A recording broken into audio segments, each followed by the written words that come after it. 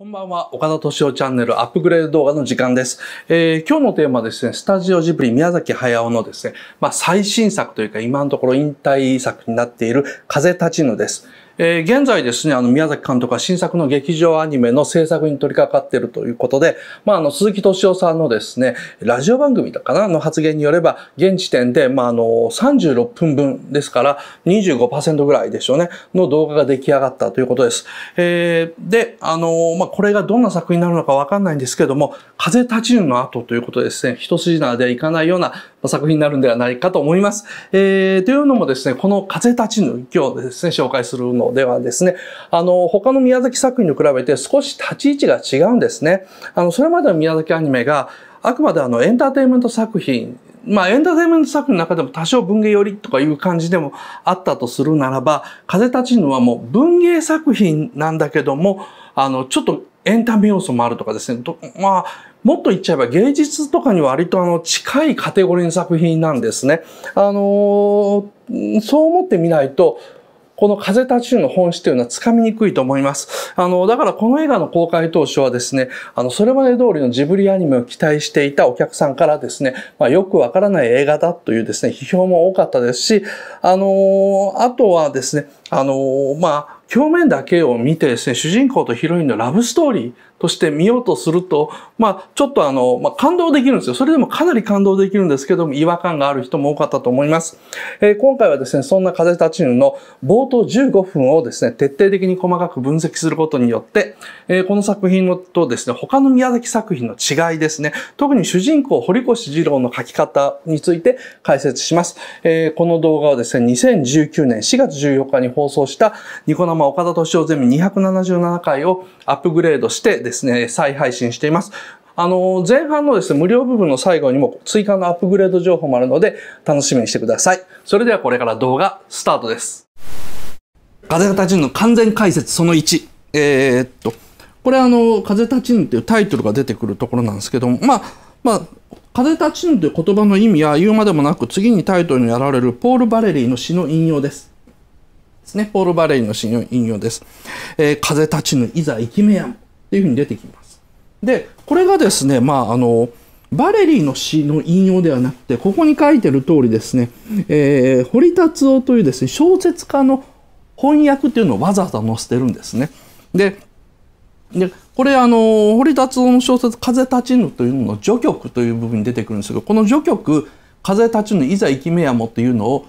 これを含めるですね、まあ、全体の文章っていうのがあってやや長いので僕流にこうキュッと縮めて紹介します。えー、風立ちにいざ生きめやもっていうのは風が起きた。それでも生きなければいけないというような意味なんですけども風が起きたと。書きかけの絵を描いたイーゼルいわゆるあの絵を立てるやつですね。こういうやつが倒れてしまった私はお前に離れるな離れてくれるなと言ってしがみついたお前は私の好きにさせたと。風立ちぬそれでも生きなければという言葉がふとそんな言葉が私の口から出てしまったこういうですね序曲というのから始まってあの言うまでもなくですねこのこれこの序曲というのはこの「風立ちぬ」という映画の全体像の構成になっているんですね。つまりその堀達夫の小説ではですねこのイーゼルが風で倒れるっていうのはやがて、えー、恋人の彼女がですね死んでしまうという前兆なんですね。で死んでしまう女の子に対して俺の元から離れないでくれっていうふうに腕を掴んで行かせないとする男。女はそれをやりたいようにさせているでそこで口から出てきたのがなんかこうそういうことがあっても私はまだ生きなければいけないっていう言葉だったって。そういう話なんです。でつまりこれねこの部分が分かってると軽井沢の高原であの軽井沢の高原で風がビュッと吹いて直子が描いてる絵のイーゼルがバタンと倒れるところでですねあそこでですね直子はもうすでに死ぬ運命だっていうのがあの分かるように宮崎駿は作ってるわけですね。ででこれがタイトルでもう一番最初の数秒間で「はいこれ分かる人には分かるでしょ」というふうに出してるわけですよ。で「風立ちぬいざ生きめやも」っていうこの言葉だけ使いたいんだったらポール・バレリーって書くだけでいいんですね。それをわざわざ、えー、堀達夫っていうふうに書いてるのは何でかっていうと役堀達夫と書いてるのはこのお話がその堀達夫の「風立ちぬ」に沿って展開しますっていうサインなんですね。そんなの言われてもね、わかんないと思うよね。まあ、いつものことだよ。わかんないと思うよね。ところがですね、ここにですね、宮崎駿、続風の帰る場所っていう本があってですね、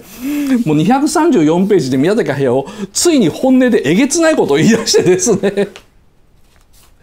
えー、通じない人には何も通じない。もう本当に無教養ですからね。歴史感覚なし。何も知らない。ダメだこいつらって。もう本当に無知もうまい、覚悟も教養もない。なんでしょうね、この教養のなさ。宇宙戦艦とか怪獣ならわかりますみたいな。自分の頃はもっと努力したと思ったんだけどな、とかって言いながら思わず反省に入ってですね。いや、しかしよく考えたら僕の頃もみんな勉強してなかった。やってたのは高畑さんぐらいでしたっていうですね。なんか変なオチが入るんですけども。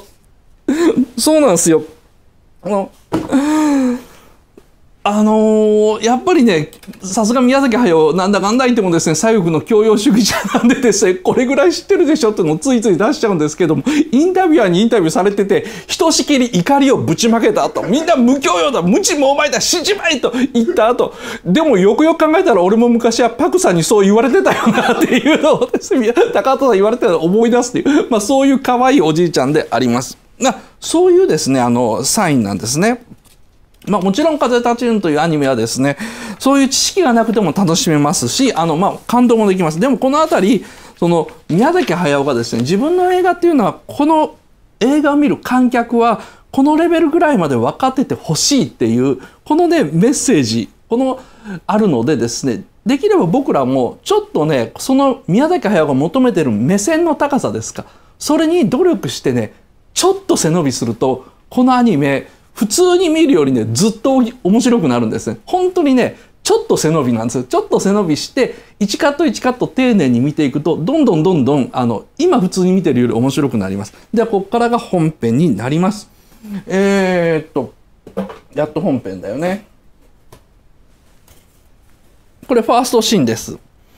えー、さっきのね、もうタイトル、風立ちぬっていうのとバレリーの詩でねですね、35秒も撮ってるんですよね。もう本当にゆっくりしてる。で、こっからですね、1分ぐらいかけて、ようやっと、なんか朝もやの中に、えー、古い屋敷が、農家の屋敷が建ってて、そこのなんか雨戸が開け離れて、中に入ると主人公の二郎が寝てると。ここまでやっぱ30秒ぐらいかけてゆっくりゆっくり行くんですよね。で、一番最初はですね、この上のカットですね水田の上を流れる朝もやものすごい綺麗です、えー、この映画の中ではですねあのいくつもの失われるものが描かれます。まあ、そのうちの一つが日本のですね、こういう水耕農家というかな、あの、田んぼがですね、作る田園風景ですね。これが失われるものとして書かれるんですね。失われるものは、あの、この映画の中でいろんなものがこれあのこれもダメだダメだって書かれるんですけどその中ですごく大きいものがこの田んぼが作る田園風景です。で真ん中のですねカットですね雨戸が開け離れています。えー、これですね粗法化という絵コンテには指示があります。家何かっていうと粗法化であると書かれている。粗法化っていうのは何かっていうと身分はないけれども大金持ちという田舎の家のことです。えー、だからその村の庄屋さんとか村長さんとか国会議員さんとか弁護士さん医者さんお医者さんというそういう立場がある人じゃないんだけどもお金がある。そういうようなですね地方の休暇のことを粗法化というふうに言ったんですね。でわざわざその粗法化でありますっていう指示がある。で、えー、眠っているですね堀越二郎13歳、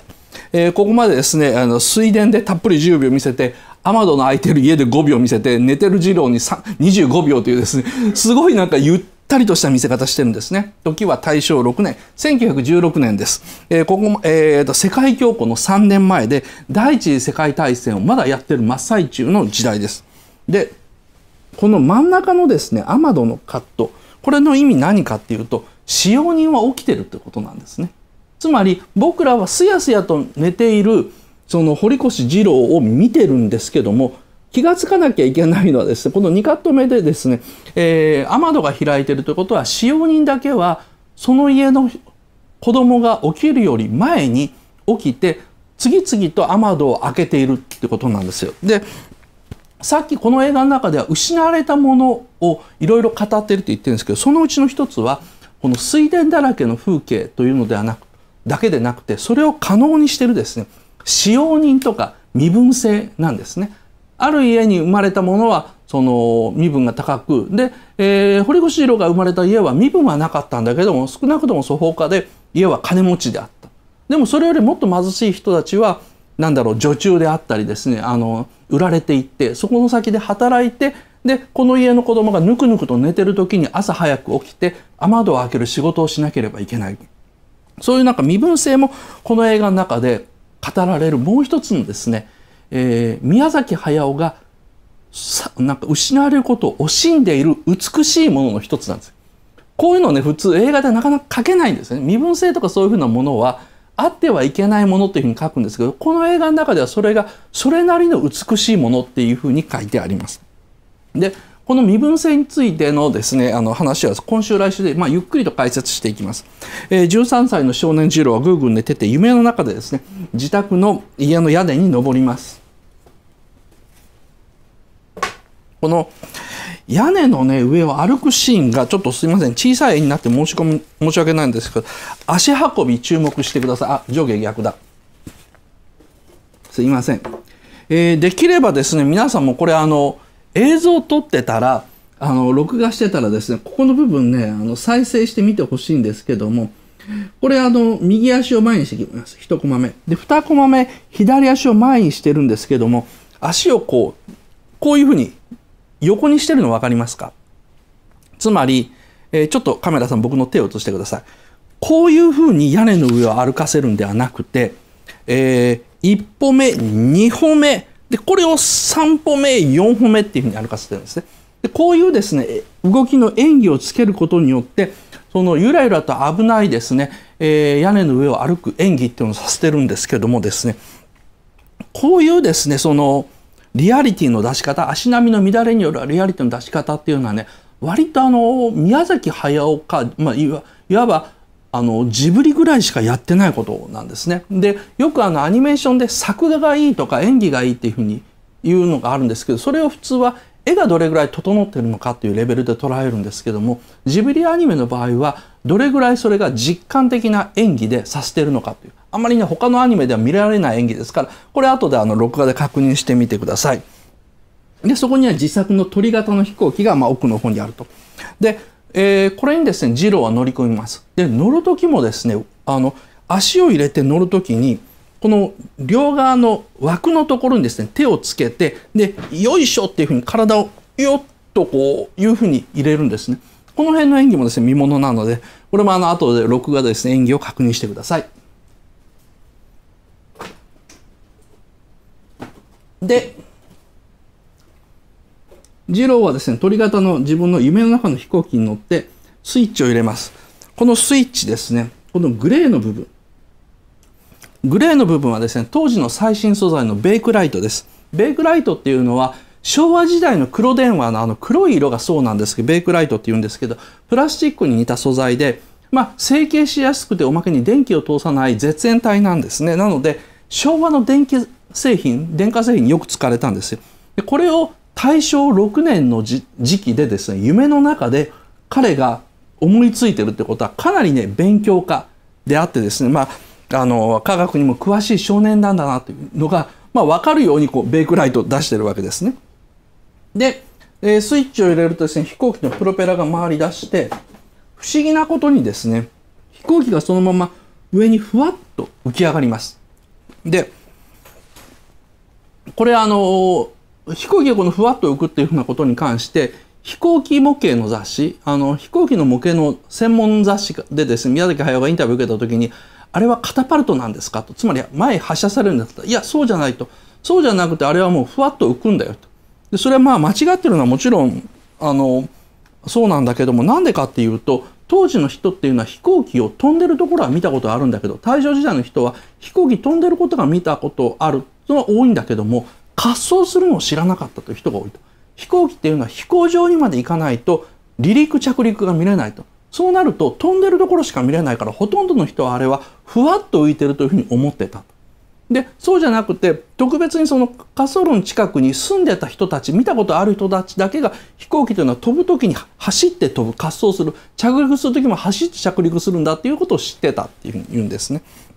なのでこれねなんでこのシーンにあの宮崎駿が入れたのかっていうとここねタイトルの「風立ちぬ」に関係してるからなんですね。あの飛行機が空を飛ぶには滑走で得られる前から吹いてくる風が必要だと。でこの映画の中で風立ちぬの風としていつも語られるのは逆境なんですよ。すごい大変で辛いことみたいなことがいつも風という形で語られると。で例えばこの関東大震災とかですねあと火事とかですね日中戦争あとまああの、まあ、自分の好きなナホコっていう女の人の死ぬこととか日本とか次郎あの堀越二郎個人に訪れる災難逆境が合うことをですね風が吹くっていうふうに言ってるんですね。で強い逆境が来るとそれを風に向かい風に例えると飛行機が飛ぶためにはそういうすごい強い向かい風を自ら走って出すと自ら飛行機というのは滑走路で走って風を出してその逆境に耐えるからこそ翼に揚力が生まれて空を飛ぶんだっていうのがですねこの風立ちぬの風の意味なんですね。でまだ幼い次郎13歳の次郎は飛行機が飛ぶためにですね逆境が必要だというのを知らないんですね。向かい風が必要だというのを知らないと。だからここの段階の次郎は飛行機をふわっと浮くものだというふうに捉えているですね。で、えー、次郎の空想の中の飛行機がふわっと浮き上がるシーンはまだ風逆境を知らないお坊ちゃんの次郎堀越次郎という意味が入っていると。で、えー、次郎の夢がですね、えー、飛行機が飛ぶにはですね風逆境が必要であるというふうに分かってくるくれば次郎の求めている美しい飛行機というものを作るにはさらに激しい風ですね。彼の最も大事な人や大事なもの日本という国そのものを吹き飛ばしてしまうほどの強い風が必要だと。それがこの今回の映画の「風立ちぬ」の意味なんですね。強く風が吹いてる。それでも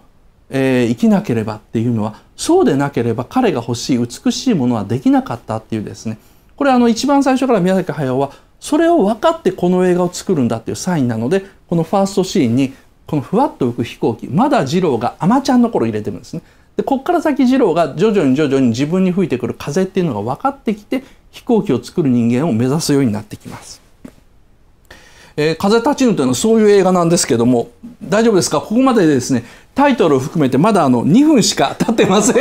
映画内ではですね。ついてこれますか？大丈夫ですね。じゃあ続けます、えー、風立ちぬ完全解説その2です。映画が始まってからまだ2分しか経ってません。大正6年堀越二郎13歳はですねまだぐーぐー寝てます。我々の主役はですねその夢の中の話です。次郎が夢の中で作ったひな鳥型飛行機は屋根の上から離陸して周りの水田をですね見下ろす位置まで上昇します。横からですね黄金色の光が差してくると。めっちゃ綺麗なシーンですね。すると朝日がですね黄金色になってこの水田の向こうから手前へ向かってバーッと差してくるんですね。ここねもうめちゃくちゃかっこいいシーンなんですよ。これあのこの映画のですね最初の見せ場です、えー、効果音までついてます。ここでゴーっていう。で音楽も転調するんですね、まんあので朝日の差す瞬間の美しさっていうのはですねこれ宮崎アニメでは割とあるあるシーンなんですよね。で有名なのは「天空の城ラピュタ」のですねシータを止めた翌朝にですねパズーがトランペットを屋根の上で吹いてるとスラッグ渓谷に朝日が差してどんどんどんどん黄金色に輝くというシーンなんですけどあれもですねいわゆる間接的に描いてるんですね太陽の光そのものを描くんではなくてその中で飛ぶ鳥とかそういうふうなものでなんだろうなあ綺麗な風景なんだなっていうふうに分かるように分かるように描いていてでおまけにシータのですねわーっていう声を入れたりして描いてるんですけども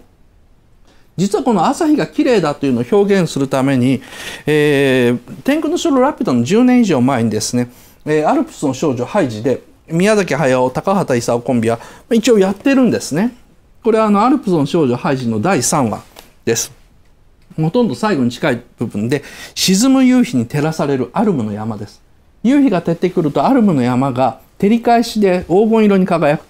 で、えー、ハイジとペーターが見ているわけですね。それが太陽がさらに沈むと一瞬ですね山がバラ色に染まって「わあバラ色よ!」っていうふうにハイジが叫ぶんですけど数秒すると山が元の茶色に戻ってしまう。なその一瞬のことをですねハイジは見て大喜びするんですね。で毎日これを見てるペーターにとっては当たり前の風景なんだけどハイジには大ショックです。山が金色になって次にバラ色になって岩の色に変化すると。でこの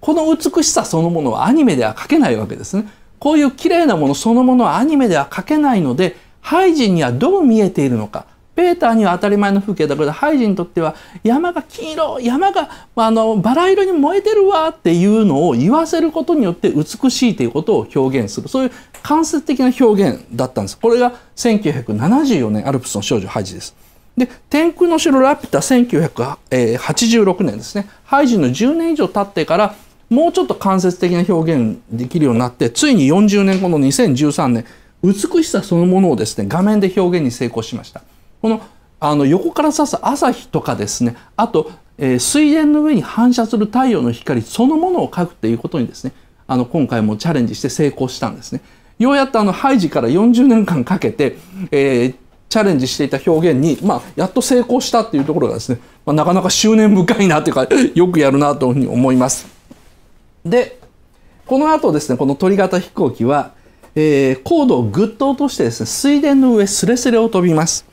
えー、実はですねこの水田の上すれすれを飛ぶシーンが何で必要だったかというとこれラストのゼロ戦が飛ぶ冷戦が飛ぶシーンの伏線なんですね。あの堀越二郎の夢である美しい飛行機に乗ってその草原すれすれを飛びたいっていうのはそのですね後に冷戦のパイロットたちが二郎が最後に見てる風景の中で叶えたと。まるであのトンボみたいにですねゼロ戦がですねすごい低空飛行して草原の上をバーッと飛ぶシーンがほとんどラストにあるんですけどもでもそれはですね誰一人帰ってこない旅路でもあったと。で次郎はパイロットになれなかったのでですねそのそれゆえに死なずに済んだんですけどまあ死ねなかったということでもありますよね。それとのシーンにこうするためラストであの冷戦が地面すれすれを飛ぶシーンと対をなすため韻を踏むためにこの最初の方にこのシーンが入ってます。で、えー、この後はですね予告編でも説明したカットであの地面すれすれ飛んでる次郎の飛行機を、まあ、村の人誰にも見えないと。で、えー、橋の下を飛んでもですね、えー、小川の船頭たちも気が付かないし誰も見えてないと。でしかし、えー、これですねあの近くの紡績工場で働く女工たち女の子たちには見えていると。で、えー、このカットでですね宮崎駿はわざと男は誰も次郎に気がつかなくて若くて可愛い女の子たちが次郎に気をつき気がついて手を振るっていうシーンを入れてます。で彼女たちに手を振る次郎もいつの間にかですねその13歳のチビの次郎ではなくてもっと大人のイケメンの美青年の次郎がですね手を振るんですね。これ後にですねあのえー、飛行船と衝突飛行船の爆弾と衝突した瞬間に次郎はもう一回子供に戻るんですけど次郎の想像の中で次郎というのは背が高くて眼鏡かけてないイケメン男性として書かれていますね。でそんなシーンを見せてます。でこれはまあもちろん13歳ですからですね、まあ、中2なんですよ。中2の次郎少年の夢なんですけどもじゃあなんでこんなシーンをわざわざ宮崎駿は入れたのかと。なんで男にはあなんか見えなくて女の子可愛い女の子にだけ見えるっていうシーン入れたのかっていうとなんで観客に主人公の次郎は自分をちやほやしてくれる可愛い女の子が大好きといういわば恥ずかしいというかですね主人公のなんだろうな欠点みたいなものを見せようとしたのかと。あのこれねやっぱ宮崎アニメではこれまでやらないんですよね。あのルパンみたいなコメディキャラだったらやるんですよ。紅の豚もそうなんですけど自分のことをコミカルに振る舞うキャラならともかくシリアスキャラで宮崎駿はこんなことやったことないです作者自ら自分のキャラにツッコミというのをやったことがないと。で理由はね、まあ、意外にもというかですね当たり前なんですけども高畑勲なんですよね。あの蛍の墓平成たぬき合戦ポンポコかぐや姫の物語で高畑勲はもう一貫してですね観客が主人公の内面をなんか入りきってしまうそういうアニメのことを悪いファンタジーというふうに言ってるわけですねいわゆる感動させる型のアニメというのを徹底的に批判しているとで観客というのはいつも主人公の行動やセリフに批判的な目線というのを持ってほしいというふうに高畑勲はずっと訴えてるんですけどもいわば宮崎駿はその真逆やってるわけですよね。真逆のどうあの主人公の目線とにひたすら自分を没入すると、まあ、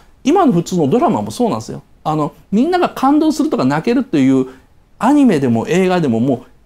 あのそれはもう j p o p もそうなんですよ。100%そうなんですけどもいかにその主人公が悲しい気持ち辛い気持ち嬉しい気持ちになってるのかっていうのを共感させることっていうのに全ての力を入れてる。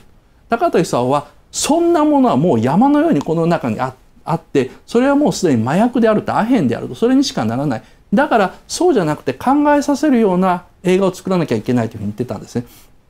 で宮崎駿はそれを聞きながらうるせえなと思ってたか確かにと思ってたかとりあえず俺にはそんなアニメ作れねえよとずっと思ったんですけどももう最後のアニメですからですね、ついにこれをやったんですね。ついにこれをやったんですけども、あまりにもたどたどしいからですね、なんか変に見えちゃうわけです。これ高畑勲だったら、あ、主人公の、あの、なんだろうな、自分の、自分以外から周りからどういうふうに見えてるのかっていう冷静なツッコミシーンがあってわかるんですけど、まさか宮崎駿がそんなことやると思ってなかったんで、なんかね、ちょっと変なシーンで分かりにくくなってるんですけども、なんか宮崎アニメっていつも逆なんですよ。あの、アシタカの気持ちとか、あの、千尋の気持ちとか、あとハウルを思うソフィーの気持ち、そういうの気持ちに観客を没入させるようなアニメっていうのを作ってるんですけども、ところが今回の風あの風立ちぬで宮崎駿はついに高畑の批判に応えて、俺もできると。えー、主観的なファンタジーではなくて客観的な描写を入れると。えー、主人公堀越二郎を実はこんな嫌な部分もあるというふうに批判的に描く。ですね。そのために観客が主人公の二郎の気持ちに入りすぎないように、もう決定的な手を打ったと。それは何か声優に素人の庵野秀明を使うという手を打ったんですね。あれなんでかっていうと、なんで宮崎駿は頭おかしいのかと、なんであんな下手くそを使うんだと。頭おかしいんじゃないんですよ。あれが意図なんですよ。庵野秀明の下手な棒読みだから、感情移入できないんですよね。そうすると感情で移入できないキャラっていうのが強制的に作られるんですね。それ、そうすると自分の映画っていうのを一度リセットして批判的な視線で見てもらえるだろうって。これはもうあの宮崎駿と、あとそれの意を組んだ、その鈴木敏夫のですね、完全に戦略的な布石なんですね。だから、声優に庵野秀明を使ったことに関してミスキャストと思った人も多いと思います。僕も正直言ってあれは、いや、大失敗だったと思ってるんですけども、もしあそこでプロの演技できる人を使っちゃったらどうなったかというと主人公の内面が表現されてしまうんですね。その内面っていうのは本当は宮崎駿が見えてほしくない見てる人に考えてほしい逆に言えばこいつ何考えてんだと突っ込んでほしいのに声優さんの演技がうますぎればそこに人間味が入ってしまうんですね。それはやめたかった。それは宮崎にとって避けたい事態だったんですね。でしかしこの映画面白いことにですね今言った構造ですね。つまり、主人公に対してツッコミのある演技、表現というのは絵の中でも入れる。で、演技的には全く素人の棒読みの庵野秀明を声優に使うっていうのはですね、後半でどんどん破綻していきます。なんでか、いつもの宮崎アニメにどんどん近づいていくんですね。それ、なんでかというと、まあ、庵野秀明もですね、これ頭からやってるとちょっとずつ上手くなってしまってですね、まるで堀越二郎の内面があるようにですね、表現になってしまったと。この辺りは宮崎駿も、庵野は上手くなりすぎたというふうにあの言ってるんですけど、このわずかなあの計算違いに関しては、まあ、もう一回来週話せると思います。で、えー、この女の子たち、紡績工場の女工というふうに、あの、根底に書いてあります。紡績工場というのは、えー、明治時代からですね、大正にかけて日本中に、あ日本中とか、まあ、日本の何か所かにあったですね、えー、小学校を卒業しただけの女の子ですね、地方からもう本当に人さらいみたいに買い揃えてきてですね、で、えー、糸製糸工場糸を作る工場の中で、まあ、働かせるところですね。女工愛しとかで描かれたところです、えー、ポイントはですねこの手を振っているこの可愛い子ちゃんたちは女工なので粗末な服を着た実は次郎にとってですね手の届く女の子であるってことなんですね。上流階級のお嬢様っていうのはよくよく見たらですねこのあのカットにワンカットも出てこないんです。このシーン出てこないんです。次郎はね実はいつも自分の手の届きそうな女にのみ注意してるし自分の手できそうなお手の届きそうな女が出てくると目が行くっていうですねこういうとこはあるんですよね。でそれですねそのわざわざこの徐行紡績工場の徐行を出してくるとで注意して見てみると宮崎駿ってものすごく注意深く堀越二郎の人物像というのをこう造形してるんですよね。めちゃくちゃね面白いですよ。でこの紡績工場ので働いているだからもう中学生とか高校生以前だから堀越二郎と同年代ぐらいの女の子がキャーって言って手を振っているところにですね、えー、精鋭に応えて、えー、二郎少年のですね鳥型飛行機がバーって旋回するんですけどもあの工場の煙突があるんですけどこの煙突にですねこの飛行機影を落としてるんですね。で影を落としてるほど近くを飛びながらですね実は工場の煙突から出る煙には全く乱れがないつまり普通飛行機がこの位置飛んでるんだったら気流に乱れが起きてこれまでの宮崎アニメだったら絶対にこの冒頭のですね一番手間がかかってるシーンなんかはですね煙が乱れるはずなんですね。それが一切乱れない。これはやっぱりあの二郎が飛行機というものの原理そのものをですねこの時は理解してないということなんですね。ま、夢の中だからって言うんですけど夢の中でもですねあのこの彼の飛行機っていうのは地面すれすれを飛んだらですねちゃんと草が立ったり波が立ったりとかですねめちゃくちゃリアルなんです。よでもこういうところで彼の本当の飛行機に乗ったことがないちゃんと見たことがないっていうですね想像力の限界がポコンって出ちゃうわけですね。スイッチにですね最新素材のベイクライトをあの使うんですけどでも滑走路を知らなかったりですね煙の近くを飛ぶと気流で煙が乱れるというそういう想像が及ばないとつまり所詮は勉強ができるお坊ちゃんの甘い夢っていうのを表現してるシーンですねそうすると上空からですね不気味な気配が迫ると。見上げると雲の上に何かいるんですけども、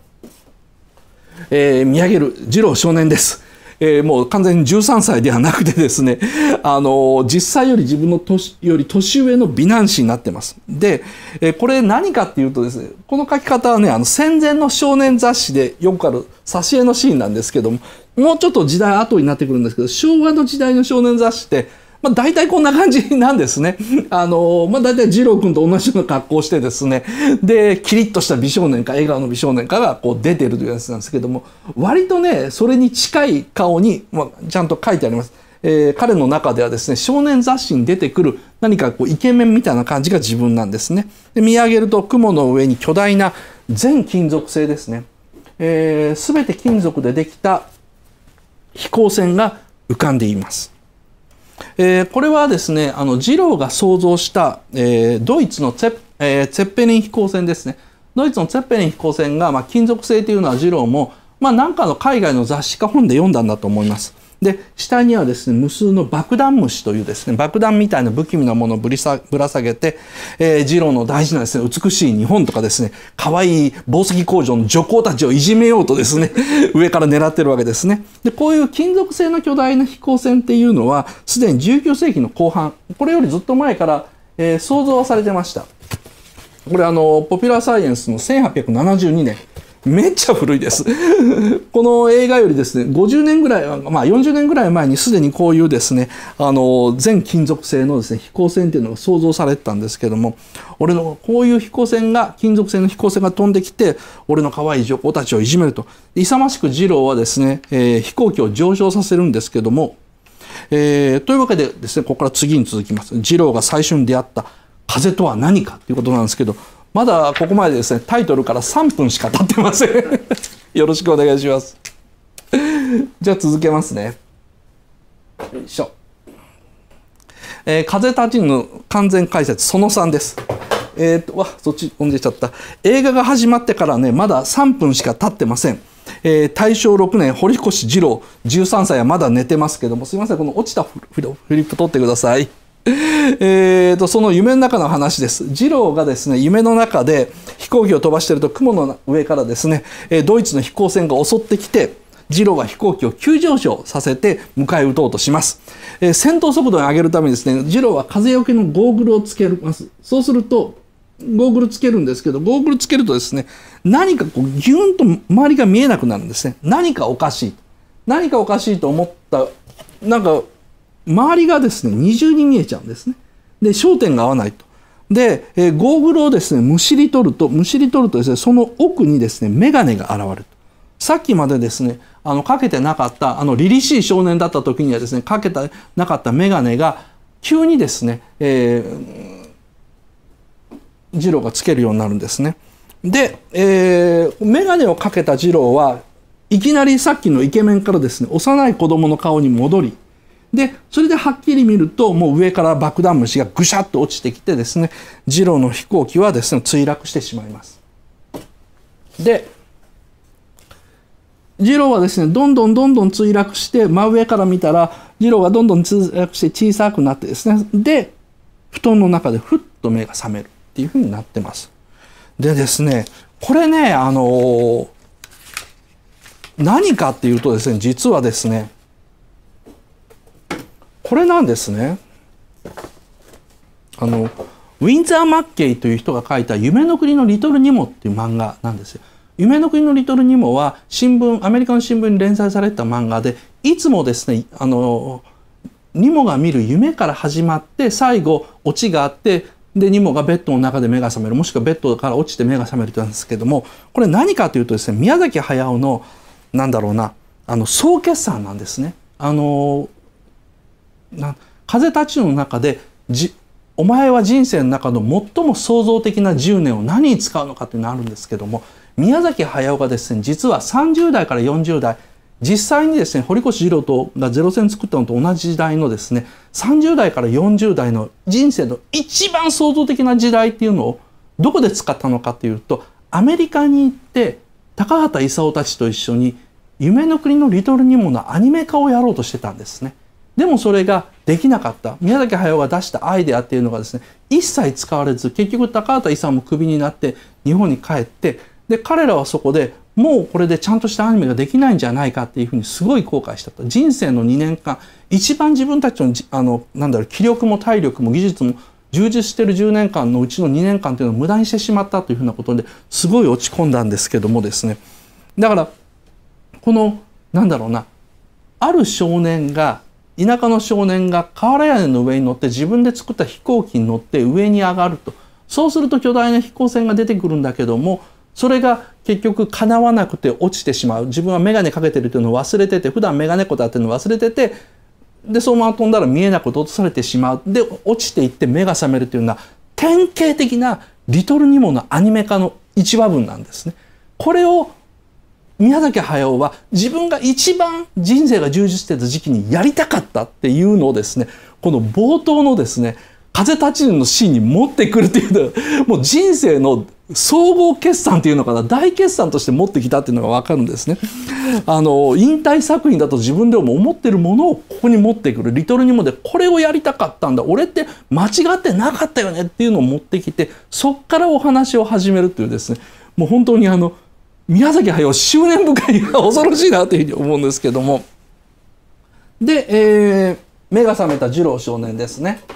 えー、眼鏡をかけてないのでですねぼんやりして天井がよく見えません。ピント合わせようとしても蚊帳の向こうにある電球も見えないし蚊帳もよく見えない。そのまま庭を見ると庭もよく見えない。でここの自分の脱いだ服の上にある眼鏡を取るとめちゃくちゃ分厚い眼鏡の向こう歪んだレンズの向こうにようやっと自分の家の美しい庭が見えるっていうふうになってます。でまあこれがまあまあ堀越二郎が見ている風景であり宮崎駿が見てる風景なんですね。宮崎分厚い眼鏡かけた宮崎駿が見てる風景なんですけども二郎がここでゆっくりと瞬きするシーンがもう本当に悔しそうな顔っていうかですね、えー、絶望ですね。これが堀越二郎に最初に訪れた風最初に吹いた風つまり逆境です。夢の中で憧れたパイロットには彼は永遠になれないわけですねで女の子に憧れの目で見てもらうこともないなんでかっていうとこの時代のメガネと今の僕らのメガネは意味が全く違うんです。これあのなんだろうな軍国主義の時代なんですよ。なんだかんだでも日本は軍国主義の時代なのでメガネをかけてるというだけでですね男としても不合格なんですねぶっちゃけ。でこの後学校のシーンとかもあるんですけども二郎以外にメガネをかけてる子供なんて一人もいない。で二郎が仲良くしてもらってる先生以外にメガネをかけてる先生も一人もいないんですね。それぐらい眼鏡をかけてるというのはこの時代決定的な落第という落印なんですよ。それはその次郎の時代だけでなくて宮崎駿の時代でももうそんなに変わらないんですね。あの頃の高畑さんはモテてたよという高宮崎駿が高畑さんを語る時と高畑勲が「宮崎さんモテるわけないですよあの見てくれでしょ」というインタビュアーに向かってハキハキと嬉しそうに語る これ本当にそうなんですよね。だからそれってその宮崎駿自身のすごいあった俺はどんなに好きでもパイロットにはなれないそれは何でかというとただ単に一点生まれた時の遺伝子として目が悪いからだってこの絶望感というのはすごいのでこれはこう堀越二郎の中で語ってるんですね。で軍国時代ですかさっきも言ったように軍国主義の時代ですから眼鏡をかけた少年っていうのはそれだけで大人から見てももう不合格ですし女の子はですね眼鏡をかけたっ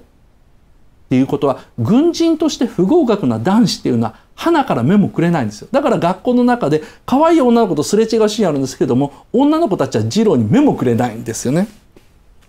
はい、えー、というわけでですね堀越二郎君の最初の風ですね俺は目が悪い。えー、でこの次にですね学校行くシーンしぶしぶ学校行くシーンになります気を取り出して学校行きます。えー、ここにですねえー、軽便鉄道が走ってます。軽便鉄道というのは、まあ、簡単に行ける路線の、なんか、まあ、列車ですね。えー、の豆汽車っていうのが走ってるんですね。もう普通の汽車よりずっと簡単に作ったですね。まあ、機関車トーマスよりもっと簡単なやつだと思ってください。で、この後、この映画の中では時代が進むにつれて、汽車がどんどんどんどん進化するんですね。あの、この映画の中で、時代の移り変わり世間の移り変わり社会がどのように進歩しているのかっていうのは大体ね乗り物で表されることがすごく多いんですよ。でこの記者も一番最初にですね大正6年に次郎の家の近くではこういう一応は線路があって汽車が走ってるんだけどもこんな略式の汽車だったっていうのを表してで二十歳にな22歳になった時に東京大学行く時に列車に乗る関東大震災にあるその後ドイツに行くというふうにあの記者がどんどんどんどん進化していくことでこの世界の進歩ですね。で日本がどれぐらい取り残されてるのかっていうのを表現するようになります。踏切を横切る人たちっていうのはこれ見てわかる通りですね。学生以外は大正時代といえどももう江戸と同じなんですね。大正時代っていうのは江戸とね昭和近代日本が共存するすごい不思議な時代だったっていうのがこれでわかります。で次郎はこの踏切を渡った後ですね。はい、上ですね。えー、橋を渡ります。で、この橋の、この右側の奥にですね、レンガ建ての建物。で、ここに木造の建物があります。これ何かというと、ここが紡績工場で、これが夢の中で出てきた女の子たちの宿舎なんですね。えー、働いてる女の子たちっていうのはですね、まあ、あの、この紡績工場で働いてる女の子っていうのは、まあ、多分小学校卒業した後すぐに工場に売られた次郎と同年代なんですけども、この橋自体は、この手すりとかを見て分かる通りですね、夢の中、これ下、夢の中のシーンです。二郎がですね、その橋の下をくぐって女の子に手を振るのと全く同じ橋なんですね。あの、つまり、想像力豊かには見えるんだけども、堀越二郎少年はこの時に、とてもささやかでローカルな場所で、女の子にモテたい、キャーキャー言われたい、飛行機飛ばしたいっていうですね、すごいなんかちっちゃい夢を見てた少年だっていうのがわかると思います。これわざわざ同じだって分かるようにこうサイン入れてくれてるんですけど宮崎駿。そんなもん分かんねえよと。俺だって3回目か4回目ぐらいにやっと気がついたって思ったんですけども。はい。でえ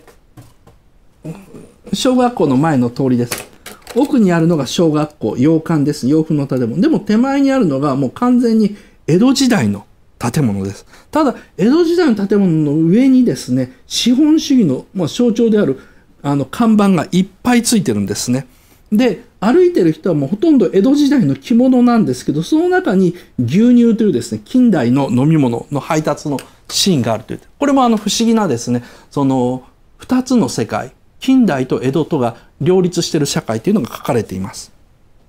で、えー、次郎はですね学校に行って優しい先生からですね海外の飛行機の雑誌を貸してもらいます。そのシーンここなんですけども、このシーンのですね、演技に着目してください。えー、これあの、ドアから入っていく先生います。これ、この先生メガネかけてません。で、男らしい体格で背が高いです。それに対して、二郎に本を持ってきてくれる先生。この先生が唯一メガネかけてる先生なんですね。背が低くてメガネをかけてます。で、この男の先生は後で皆さん、あの、VTR、自分で録画したやつを再生してもらえばわかるんですけども、あの、まあ、ジブリの公式の DVD でも大丈夫です。えー、職員室の中に入ってくるときにですね、全く遠慮せずですね、ずかずかと入っていくんですね。ところがこのメガネの先生は、ちょっと場所を譲って、おまけにこの絵で見てわかる通り、軽く、あの、自分が道を譲った先生に挨拶、会釈します。それに対してこの背の高い先生の方は、全く会釈しない。挨拶をしない。何かっていうとですね、その、これがこの時代の眼鏡をかけてる人間への差別っていうほどもないんですけどもやっぱ格付けなんですよ。これねあの本当に実際に皆さん見たらびっくりしますよ。確かにこの男の人って何にも挨拶せずにずかずかと同じ先生なのに真ん中通っていくんだしこの人はわざわざ道を譲ってる方なのに頭を下げてるんですね。なんでこの身分差みたいなものがあるのかっていうとまあいわゆるパリピと言いましょうか 学校での一軍と、まあ、オタク層みたいなもんだとよくわかる例としてこう思ってくださいですね。えー、っとですねまあこの眼鏡かけてるかどうか体格がどうかっていうことで男子の価値が決まってしまう時代です。これが宮崎駿が実際に子供の頃見ていた世界とあと格差なんですね。宮崎駿はあんなアニメ作っているから子供の頃から外で遊ぶのがよっぽど好きなんだったんでしょうというふうに宮崎駿のお兄さんとか弟に対して取材したインタビューがあるんですけども弟もお兄さんも笑って言ってるのはいやもうあいつはもう本当に運動がダメでずっと家の中にいて絵ばっかり描いてました。そういう意味ではもうあんなアニメ作ってびっくりですよ。全然野山で遊んだりしませんでしたよと言われちゃってるんですね。それがやっぱりそのこっちの眼鏡かけている貧弱な体格の人の世界なんですね。だからこっち一軍の方には入れない。で下の画像でその先生と話してるんですけど後ろにはもう女の先生がすでにいるそういう時代なんですね。女の先生がいて他の先生方も映ってるんですけどもこれあの画面の中でちょっと動くってもっと分かりやすくなるんですけどやっぱり眼鏡をかけてる先生なんか一人もいないんですね。学校の先生っていうのは子供に対して威圧的でで尊敬されるべき人間だから眼鏡をかけてるような人がこの当時はほとんどいなかったっていうのが分かります。ですね。そういうふうに書いてるんですね。実際には眼鏡をかけた人もある程度いたでしょうけどもその NHK のドラマとか朝ドラなんかでやってるようにいっぱいいるわけではなくても本当に体が弱いの象徴として眼鏡をかけさせられてる。そういうふうな世界でもあります。で、えー、まあ学校で先生からですね海外の雑誌をもらって次郎はですね家を家に帰る時にですねいじめの現場に遭遇しますですね、えー、河原で男の子たちがですね年下のですね下級生をいじめてます突き飛ばそうとしてますで、えー、次郎はですね待てって言って走っていくんですけどもそこですっ転びますつまり次郎は正義感はあるんだけど運動神経がないやつなんですね。これは後でも出てきます。後半出てきますけどですね。もう反射的に待てと言ってかけていくほど正義感はある。しかしそこで必ず転んだりですね、あの後でですね、あの、直子が電車から落ちそうになって帽子飛ばしたと、あの、次郎が帽子飛ばして、その帽子を直子が受け止めてくれるんですよ。で、直子が危ないって落ちそうになって、あれね、みんな、次郎が助けたというふうに覚えてるでしょ。記憶してるでしょ。映像を見てください。次郎の手は全く届いてません。あれは女中のお絹がですね、はってこう手を出して、一人で助けて次郎は出した手を途中でゆっくり引っ込めるという演技やってるんですね。あ、ありゃ間に合わなかったっていう。それぐらいですね、二郎って、もう本当に正義感は強くていいやつなんですけど、運動神経悪いんです。でも僕らは心の中でそれを補正されて、補正して見てるんですよ。ジブリのアニメの主人公で宮崎アニメだから補正されて、なんか、あ、あれあの時に、あの、二郎が助けたので、直子は二郎を覚えたんだというふうに、いつの間にか補正してるじゃないですか。確認してください動画を。全く手届いてませんってゆっくり手を戻してるシーンをわざわざ宮崎駿は意地悪に書いてるんですね。これがその宮崎駿なりの高畑勲に対する回答客観主義です。ですね、えー、で、えー、言ったらですね少年たちはですね何やってんだというふうにわけのわからないセリフを言います。しかもですねもう超悪役顔です。ですね。えーまあ、もう一つのポイントはですね やっぱ悪い少年たちは誰一人眼鏡をかけてないということですよね。でそれに対してですね、えー、次郎少年はですね下級生をいじめるのは良くないっていうふうに子供をいじめるなというふうに正論を言いますけれども彼らはですねなんかあのこのさっきのですねコマで見ると別に普通なんですよ顔つきが。ここで見るとそんな悪い顔してないんですけども二郎の見た目になった瞬間にめちゃくちゃ悪役顔になるんですね。つまりこれって彼らは二郎にそう見えてるって意味なんですよ。で、彼らのセリフには意味がありません。全く日本語になってない。コンテにわざわざ日本語にしないでくださいって書いてあるんですね。何を俺をやめて、加えててっていうふうに言うんです。で、これは後にですね、陸軍との会議のシーン、海軍との会議のシーン、会社の偉い人の会議のシーンでも全部同じです。これは何かっていうと、このジブリアニメに何だろうなあのいいアニメとして見ようとしてる人には、そんな上役たちとか軍人たちの意味のない言葉なんか退けて、堀越二郎は自分の意志を貫いたんだというふうな意味に捉えるんですけども、宮崎駿が書こうとしたのは全くそれじゃないんですよ。もしそうなんだったら、天空の城ラピュタの時のですね、将軍たちのセリフのようにはっきりセリフ書くんですね。ここで書こうとしてるのは何かっていうと、堀越二郎は自分より格下だと思ってる人を人間と思ってないってことなんです。彼らの言葉は理解不能だし、理解する必要がないと。だからいきなりこう一本背負い気持ちで決めちゃうんですよね。もちろん正義感なんですよ。正義感があって、行動力があって、運動神経がないだけなんですけども、すぐに人をですね、判断しちゃう。自分より上か下か。で、自分が値打ちがないというふうに決めたら徹底的に冷たい。彼らが言ってることを鼻から聞こうともしない。会議とかをしようともせずに、一切せずにそれをやり過ごすことだけ考える。だから彼らが言ってる言葉が意味をなさないわけですね。で、これあの、この人たちの、だから悪役顔になっているのはですね、このシーン、二郎の見た目の時だけなんですね。その時にだけすごい悪者の顔になってる次郎にはそういうふうに見えちゃってるんですけどもこれねあのこの次郎の堀越二郎のですね上から目線っていうのはですね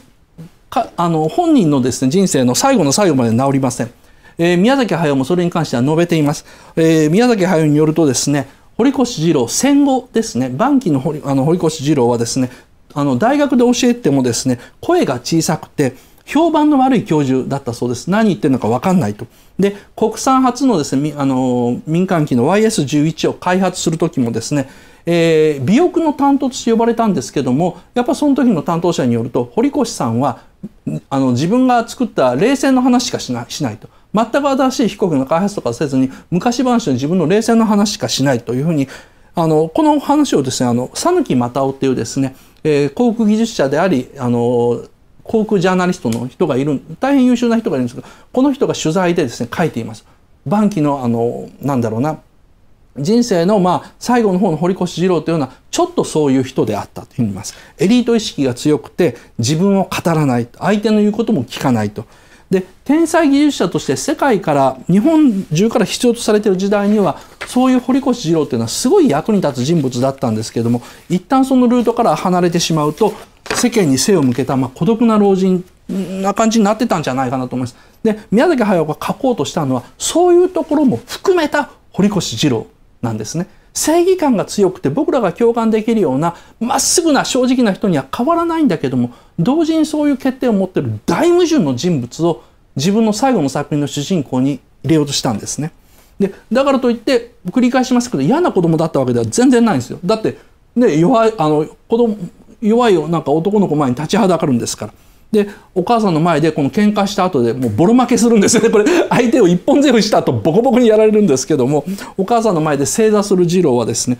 その怪我の理由を聞かれて転んだだけですっていうふうに言わないあの相手の喧嘩したことも言わないしですねであの喧嘩に負けたことも愚痴を言わないですね正義感は自己力正義感が強くて自己力はあるんですけどもあんまり自分を語らない少年であったというふうに表現になってます。で、家に帰ります。家に帰ってお母さんにその報告すると、まあ、お母さんも分かっていたように、おやつ食べなさいと言います。そうすると妹の佳代が庭でままごとをして遊んでます。で、次郎の雰囲気にですね、妹がですね、約束してたから遊んでっていうふうに駆け寄るんですけども、次郎は無視します。で、この子守の女の人、これもねです、実は次郎と同年代ですよね。この妹の相手をさせられてるですね、あの子守の女の子もやっぱり田舎から買われてきてですこの家に住み込みで働いていてで「お帰りなさいませ」「次郎さんお帰りなさいませ」って言うんですけど次郎はですね声もかけませんですね。あの風立ちぬの公開時にこの僕はですね堀越二郎の不自然なほどの妹への白状さというのは解説したんですけども可愛い女の子が困っていれば忙しくてももうこもももうこんな時代でなくて忙しくてなんかね設計してる時代でもですね手を差し伸べるんですねシベリア食べないかっていうふうに言うんですけどもしかしこのちょっとブスな妹にですね堀越二郎はこのアニメの中で生涯冷たいんですね。で同時にこの使用人への気遣いのなさです。これまでのジブリアニメ思い出してください。で、こういう使用人みたいな女の子がいてですね、お帰りなさいませって言ったら、ジブリアニメではですね、たとえそれがどんな状況でも、ただいまって絶対にね、返事するんですね。それを無視するですね。あのー、この態度って実は、カリオストロの城のカリオストロ伯爵にすごく似てるんですよ。使用人を人として見ない。で、美しくない、価値がないと判断した人間には徹底的に無頓着。自分の野望や夢のためには国民を犠牲にしても仕方ないと。堀越二郎っていうのはですね、まさしく僕はもうヤングカリオストロ伯爵っていうふうに 呼んでるんですけどもですね、あの、宮崎駿自身のですね、大監督第一作ですね、ルパン三世カリオストロの城から34年経って、ね、ついに宮崎駿は悪役カリオストロ伯のですね、別の面ですね。それはその、なんであのカリオストロの城のカリオストロ伯が悪役として魅力的なのかって宮崎駿の本音がダダ漏れしてセリフの中に乗っかってるからなんですけどそれを主役にして書いてみるってことをやってみたんですね。まさかそんなカリオストロ伯爵が主役のアニメとも知らずにですね見てるからこのなんだろう6年前の僕らはなんとなくこのアニメなんか感動しきれないなと思ってでこの間見て感動できるのはもうそういうものを僕らも許容できるようになってるからなんですね。でかよからですね、約束です、お兄様って言ってるんですけど、次郎はですね、かよの方を結局ずっと一回も見もしないんですね、この子供の時代。で、えー、先生から今日借りた雑誌をですね、一生懸命熱心に見ています。でその雑誌の中にイタリアの飛行機設計家、カプローニ伯爵ですね。えー、カウント。書いてある。カウントは、えー、領地を持っている伯爵ですね。えー、伯爵の記事を見つけます。で、この夜ですね、次郎は運命を変える出会いをします。えー、もうあの45、あ、もう55分になったので無料放送はここまでですけども、実はこの プローニ伯爵の記事を見つけるところまでですね、えー、映画が始まってからまだ7分も経っていません。でも、この冒頭の7分を見るだけでもですね、この風立ちぬが、これまでの宮崎アニメと全く違う作品だというのがわかると思います。なので、同じ感じであの見ないようにちょっと見返してみてください。えー、主観的な描写ではなくて、あえて客観描写で主人公を描く。それを導入することによって、あの、観客の共感をあまり抱かせないような、えー、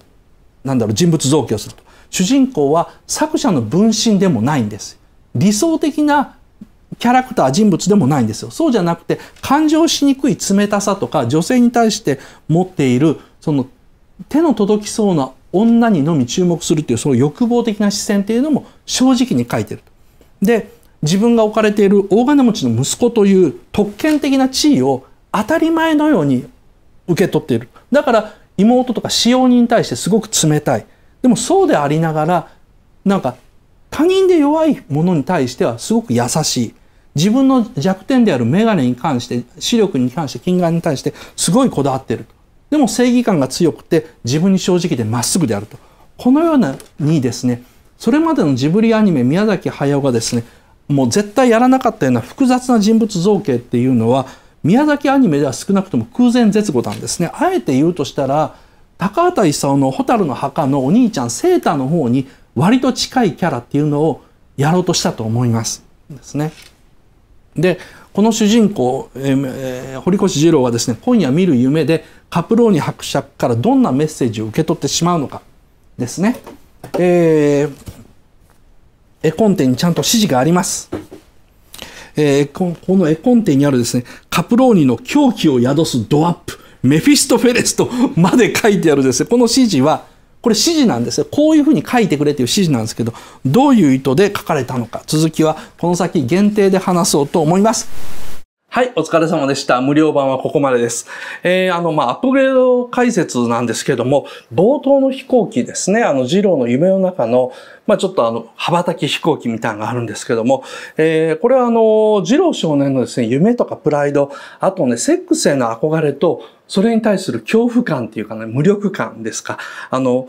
例えばその、その夢が終わった後にいきなり自分が近眼だと認識して庭を見ようとしたらぼんやりしてして、メガネをかけるとはっきり見える。その時のがっかりした感じっていうのは、やっぱあの性への不安、その少年時代に抱きがちな性への不安なんですね。で、この視点で全体を見るとですね、あの、割とびっくりするぐらい性的なコンプレックスが表現されている、貫かれているですね、あの、その表現で一本貫かれている映画だと思います。えー、で、あの、ここまでですね、露骨で意識的に、なんだろうな、少年期の性的コンプレックスを扱った映画っていうのを、70歳を超えてですね、引退作として作ることができるというのも本当に脅威だと思います。もまさにあの、まあね、えー、明石家さんまがお笑いモンスターと言うんだったら宮崎駿は映画モンスター、アニメモンスターですよ。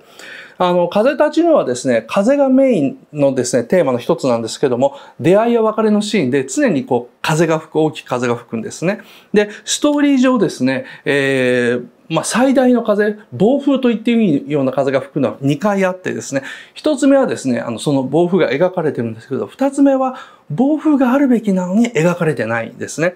で、その1つ目っていうのは関東大震災による暴風です。あの、火事でですね、まあ、東京全土が焼けて、で、巨大な上昇気流が発生してるから、そこのですね、あの、上昇気流が発達し、あの発生して、で、あの、東京全体がですね、まあ、真空地帯に近くなるわけですね。だから、関東全域からですね、四方八方から風がバーッと吹いてると。そのですね、ものすごい風をですね、映画では丁寧に描いています。まあ、あの、解いたドアですね。ドアが空中に吹き上がったりですね、あとあの第八車が空中にあの巻き上がったりするようなものすごい暴風が何日も続いたということです。えー、この風っていうのは何かっていうと、その関東大震災によって風があって風立ちぬなんですね。で、それによって日本がその戦争へ向かって進路を変えていくと、そういう大きい節目の風になっています。で、えー、戦争へと進んでいるからこそですね、あの、次郎は飛行機にですね、関われた、作れたわけですね。あの、戦争に関係しているエリートだからこそ、次郎はですね、会社のコネとか金を使って、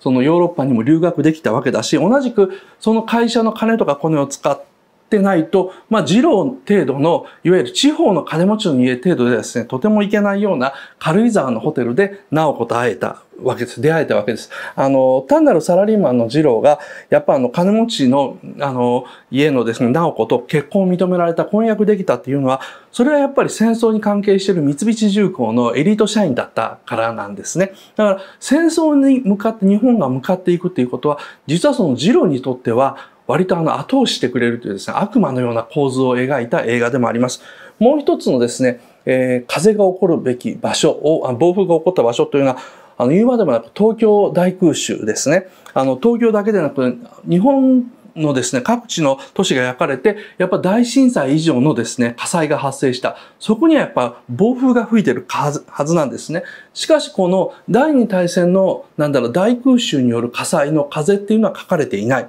えー、書かれていない風こそがやっぱその日本を変えてしまった戦後の社会と変えてしまった変化の風なんですよ。で、なんでそれ書かなかったのかというと、この二つ目のですね、大きい風っていうのは、もうあの、美しくないからです。それが吹いてしまった日本というのは、美しくない方向に行ったと。だから、かつての田園風景の日本で大震災、風が吹いた。その後の世界を宮崎駿は、やっぱり美しいものとして描いてるんですよ。かつての美しい日本ともう一つ、飛行機というものを美しく追いかける、この堀越二郎という主人公ですね。しかし、その戦争が終わった後の社会というのは大きく風が吹いたけれども、もうそこにはかつてのですね、田園風景もなければ、戦争へ向かっていく美を追求する美しさもないっていうふうに書いてるんですね。ちょっとなかなかね、あの、ひねくれた見方なんですけれどもですね、えー、やっぱ美しくないものにですね、堀越二郎興味ゼロなんですね。あの、初めて設計した飛行機も墜落してしまったら、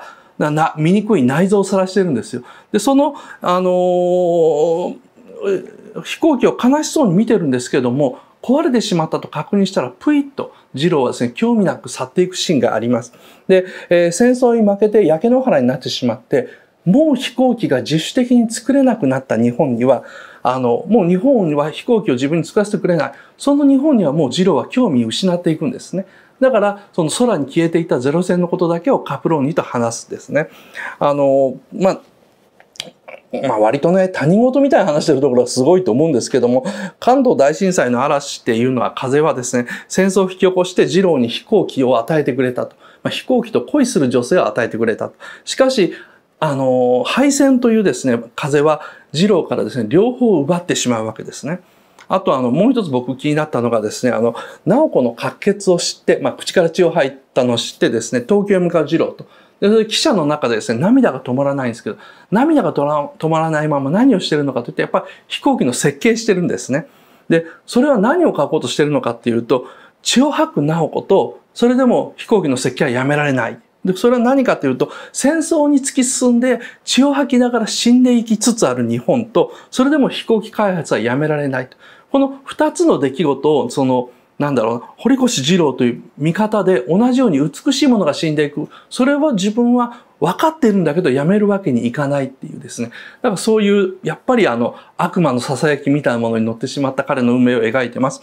えー、二郎のですね、あの、戦争責任、堀越二郎のゼロ戦開発者の戦争責任を問う映画ではないんですよ。そうではなくて、戦争責任を感じて涙を流しながらも、だから感じてるんですね。でも、やめられない悪魔の誘いに負けてしまった男の話っていうですね、まあ、悲劇をあの、やってるんだと思います。えー、後半でも引き続き、風立ちぬの冒頭で描かれる堀越二郎の人間性や、そこから描かれていくこの映画のテーマについて解説してます。ここから先の注目ポイント、一つ目は幼少時の二郎の夢に出てきた謎の存在、カプローニさんですね。えー、このカプローニ伯爵一見するとですね、あの、堀越二郎に夢を与える人のいいおじさんみたいに見えるんですけど、夢を与えるのと同時に生きる方向を問いかけですね、二郎のある方向へ誘い込む。彼の人生自体を点数付けするような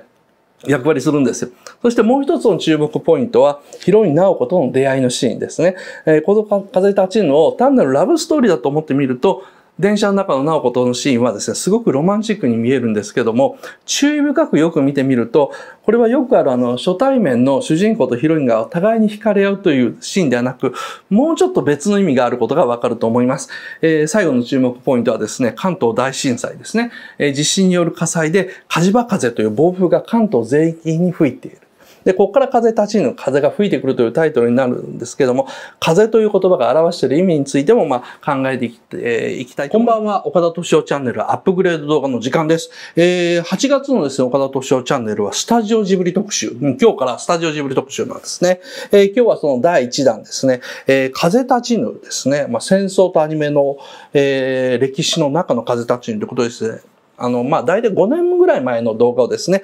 えー、再配信しようと思います。えー、長いですよ。あの、無料だけでですね、40分あります。で、えー、今日の話はこのチャンネルでいつもやってるような作品論というよりはですね、割とあの、えー、作家論なんですね。作品論は一つの作品の、まあ、具体的な要素を語っていくってやつなんですけども、作家論は宮崎駿というですね、作家、映像監督にとってですね、作品を作るとはどういうことなのかという、まあ、もう少し広いところを、あの、風立ちぬという映画をベースに語っていきます。えー、まあ、あの、戦争とは何なのかですね。特にあの、宮崎駿という作家は戦争に対してアンビバレンツ、矛盾した思いを持ってるんですけども、あの、あとは宮崎駿、他のアニメ監督のことを実はどういうふうに思っているのかですね。こういった作家宮崎駿の作品制作におけるスタンス、あと戦争とか政治問題に対するスタンスですね。えー、あとはまあ作家としての変遷ですか？やっぱあの、だんだんだんだん思想が変わって立場が変わってきた人でもあるんですよ。あとはあの、えー、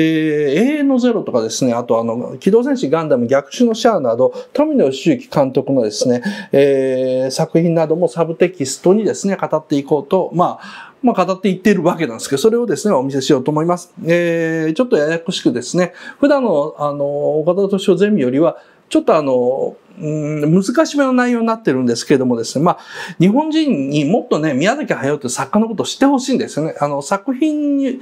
の奥にあるその個人の思いっていうのがどういうふうなものなのか、で、どんなことを考えているのかというのをもっとみんなに知ってほしいと思って、今日はですね、この話を選びました。この動画はですね、2015年、5年前ですね、2月22日に放送した、えー、ニコ生岡田敏夫ゼミ第62回をですね、アップグレードして再発信しています。えー、前半の最後にもですね、あの、追加アップグレード情報ですね、えー、あるので楽しみにしてください。それではここから動画スタートです。えーとですね、あの、金曜ロードショーのですね、風立ちぬ見たんですけども、僕はあの、風立ちぬはですね、あの、宮崎駿の最高傑作と思ってるんですけども、金曜ロードショーで見るとですね、えらい印象が変わってですね、いや、最高傑作は最高傑作なんですけどですね、魅力がいくつかやっぱり伝わらないなと思ったんですね。で、一番何がね、まずいのかっていうと、あの、CM が入るじゃないですか。どの映画もそうなんですけど、CM に入るとリアル世界になるんですね。で、リアル世界の普通の演技を見てしまうとですね、もう一回その 本編に戻るとですね、庵野秀明さんのですね、棒読みセリフがですね、ふっとこう我に返ってしまってですね、CM のたび、だから映画館で見てる時って最初にあの、庵野秀明の声聞いて、ああ、なんか、堀越二郎、庵野秀明か、うん、なんかちょっと棒読みっぽいけどっていうのが、だんだんだんだん、ああ、あの、口下手な、朴突な人格を作ってるんだってわかるんですけども、ところがテレビでぶつ切りにしてですね、あの途中で、その、普通の CM で、あの、上手い俳優さんの声を聞くと、その度ごとにですね、またもう一回頭がですね、リリアルワールドにチューニングされてしまってですね、えー、映画の世界の中に没入するのにちょっと時間がかかったっていうの。まあ、それが一つですね。あとは、最後の、あの、さあ、とりあえず、あの、うまいワインがあるんだよっていうふうにカプローニさんが言ってですね、ジロー君が空を見上げながら草原の向こうへ消えていく。で、その後は、あの、ユーミンの歌がかかって、まあ、本編の背景映像ばっかりになってくると。映画館ではね、結構、心が触れるというか、おーっていうね、名ラストシーンだったんですけども、テレビで見ると、なんでしょうね、この、え、これで終わりなの感がすごいんですよね。だから、すごく映画としてチューニングされきった作品だなというふうに思いました。だ金曜ロードショーでやったのはね、ちょっとね、失敗だったんじゃないのかな。失敗で言ったら言い過ぎなのかもわかんないですけども、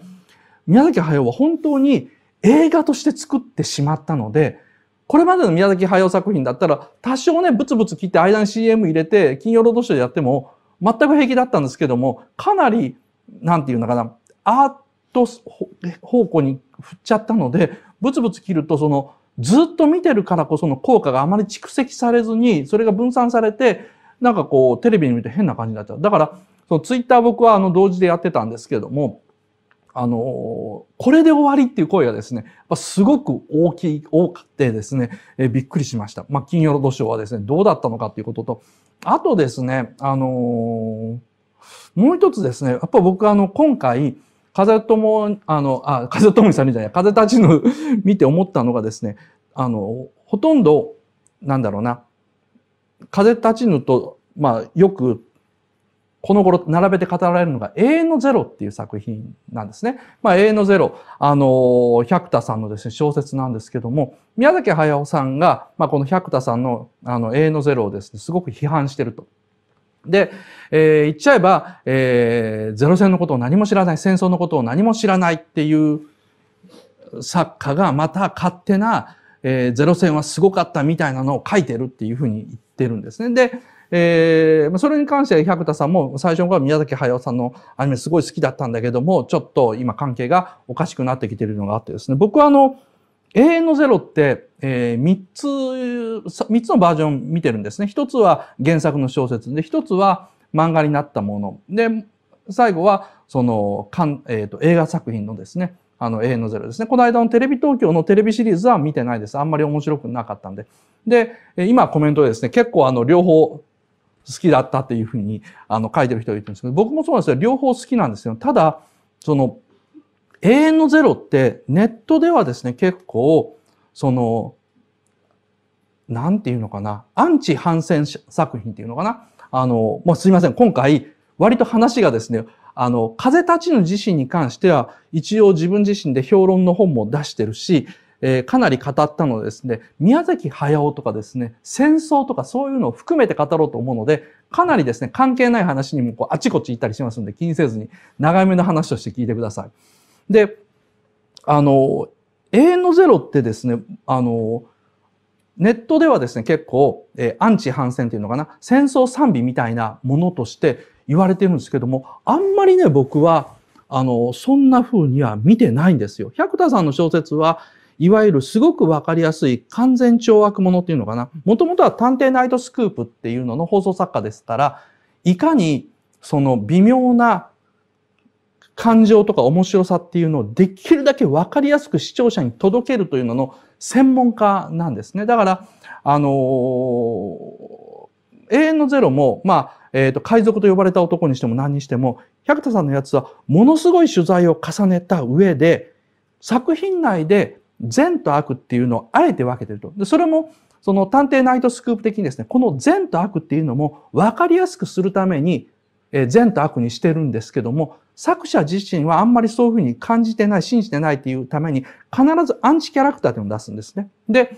海賊と呼ばれた男ぐらいからですね、ちょっとその辺のバランスが狂い出して、あの、出光のその創業社長を絶対的な善にしちゃうというふうなことを、ちょっとね、手癖が悪くなってきたなと僕、百田さんのやつ思うんですけど、その分やっぱりエンターテインメントとしての感動っていうのは大きいんですね。だから、エンターテインメントっていうのはやっぱりそのお涙ちょうだいっていうの変ですけども、善と悪とははっきりさせる完全懲悪門として書かれているので、その部分で単純化して語りすぎとかそういうふうなことを言うのは、なんか言い過ぎな感じがするんですね。あの、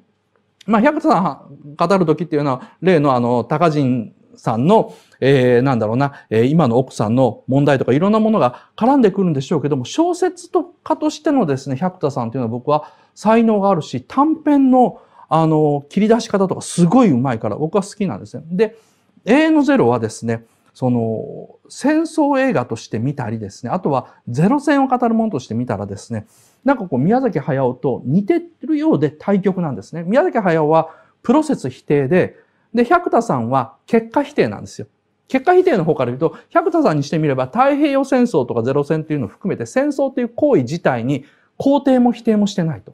何よりも負けるのが悪いっていう話になってるんですね。えー、なんだろうな、勝てるはずの戦争に負けたから悪い。そんな話じゃないんですね。太平洋戦争は誰、誰も勝てるとは思ってないんですよ。ただ、負けるにも負け方があるだろうとか、戦争を起こしたこと自体が悪いんだからという、いろんなものがあるんですけど、そこはもうその当時生きてた人とかですね、その当時の状況があるので、日本は戦争をやるしかないところにまで追い詰められたっていう、この状況はまあ、後で、な、あの、いろんな人がいろんな語り方あるでしょうけど、まあこれしょうがないとして、でも、あの負け方はないだろうって、あんなくだらない負け方ってするのは何なんだよっていうのが永遠のゼロに書かれている結果否定なんですね。日本は戦争に負けた。でもあの負け方は何だと。で、国民にそれは責任があるというよりは国民性に責任があるかもしれないし、当時の政治家とか軍部というのもやっぱり日本人の国民性を反映してるんだから、あの負け方はねえんじゃねえかなっていうのが、百田さんのその結果否定なんですよ。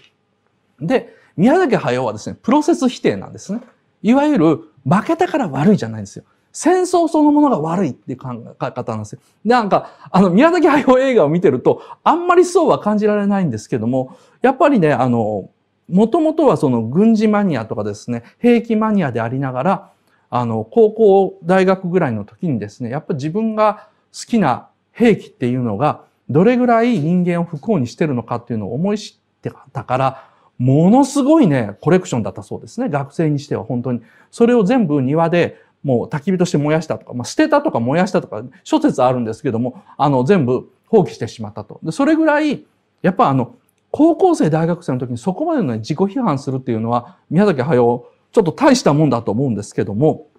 あの、戦争というもの自体を否定していると。しかし、自分は戦争を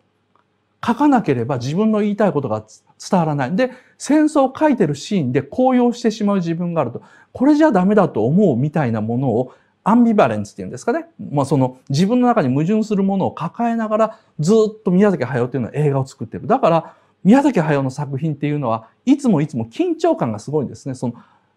なんだろうな。作者自身が自分の趣味に対して突っ込んで否定的だという。多分その富野義行と宮崎駿の見てる最中のその緊張感っていうのはそこら辺が強いと思うんですね。押し守るそうなのかな。富野義行はその、なんだろう、ロボットアニメみたいなものが大嫌いで、で、ロボットアニメしかチャンスを与えられない自分っていうのに対する自己嫌悪がすごく強いんだけども、でも他のものにロボットアニメは安易にやられるのは許さんっていう。そうじゃなくてロボットはこうだろうとか宇宙はこうだろうっていうのがあると。でもそんなものを熱く語ってる自分自身も大嫌いっていうのが富野義行のやっぱこのなんだろうな、廃反する魅力なんですよ。で、宮崎駿は宮崎駿で、なんでこのラピュタのロボット兵が暴れるところとか、あと、なんだ、ハウルだったら戦闘シーンとかで、他のシーンよりもやっぱり何段階か手が入っちゃうと。ああ、こんなことで一緒、夢中になる俺何なんだとか。で、スタッフの中でその兵器とか好きな奴がいたら、お前そんなのが好きなんだからダメなんだって言いながら、そいつが出してくる飛行機の飛び方に飛行機はこうじゃねえよとか文句つけるっていうですね。やっぱそのすごい矛盾抱えてる。で、押井守もそうですね。押井守も学生運動とか公安とかそういうものに対する徹底的な嫌悪感を抱きながら広角機動隊とかそういうのをもうなんだろうね、大喜びで作ってしまう。大喜びでもないんでしょうけども、注文が来るから仕方ないから作ってるだけだと言いながら、明らかにその手つきのウキウキ感っていうのが出てきちゃうと。まあ、この辺のその作家の中の個人的な矛盾っていうんですかね。その個人的な矛盾っていうのが作品の中に出るっていうのが僕は作家性だと思うんですよ。だから、その作家性のない、なんだ、あの、アニメ監督とか映画監督っていうのは、多分個人の中にあんまり矛盾がないからだと思うんですね。えー、めんどくさい世代だなというふうに流れたんですけども。いや、あのー、見ててね、なんか、なんだかよくわかんない魅力がある映画っていうのは大体そうだと思った方がいいですよ。あの、例えばジョージ・ルーカスのスター・ウォーズが面白いのも、ジョージ・ルーカスのなんだろうな、フラッシュゴードンとか、ああいう昔の SF のアドベンチャーが好きなんだっていうのと、あと徹底的に人間嫌いなのに、冒険物を書かなきゃいけないっていうものがあるから、アメリカングラフィティとかですね、スター・ウォーズっていうですね、すごいのができるんですね。スピルバーグもやっぱ自分の中に矛盾があるだろうし、そういう矛盾がある作家のものっていうのは、あの、論理では割り切れない魅力っていうのがこうじわじわと出てくると。で、あのー、そうですよね。で、もうちょっとそのゼロ戦の、あの、永遠のゼロの話の方にちょっと話したいんですけども、永遠のゼロって僕はかなり誤解されてる作品だと思うんですね。特にその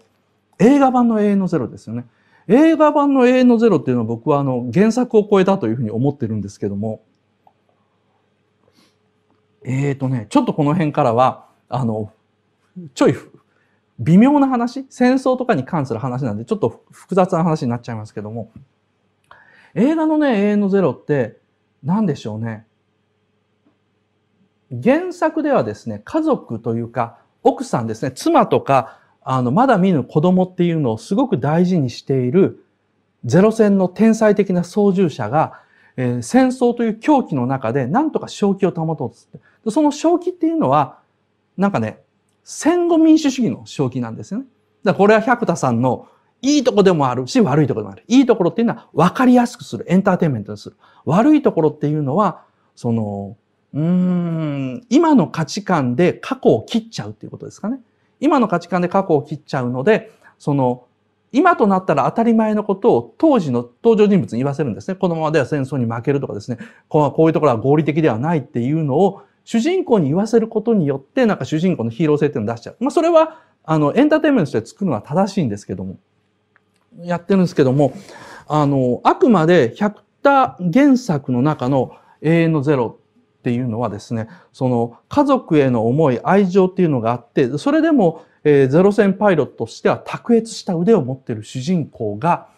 あの、最後の最後まで生きようとした話って。これは、あの、というふうに書いてる。で、その中で、ちょっと、あの、くどいまでに書かれているのがですね、あの、反戦ファシズムっていうんでしょうかね。アンチ戦争ファシズム、朝日新聞的なっていうふうに、多分その、百田さんは朝日新聞とは一つも書いてないんですけど、明らかに朝日新聞っぽい記者が出てきてですね。で、えー、例えばその万歳アタック、特攻っていうのはテロであったとかですね。そういうようなことを言って主人公にそれを反論させるという構造が出てくるんですね。だから多分、その、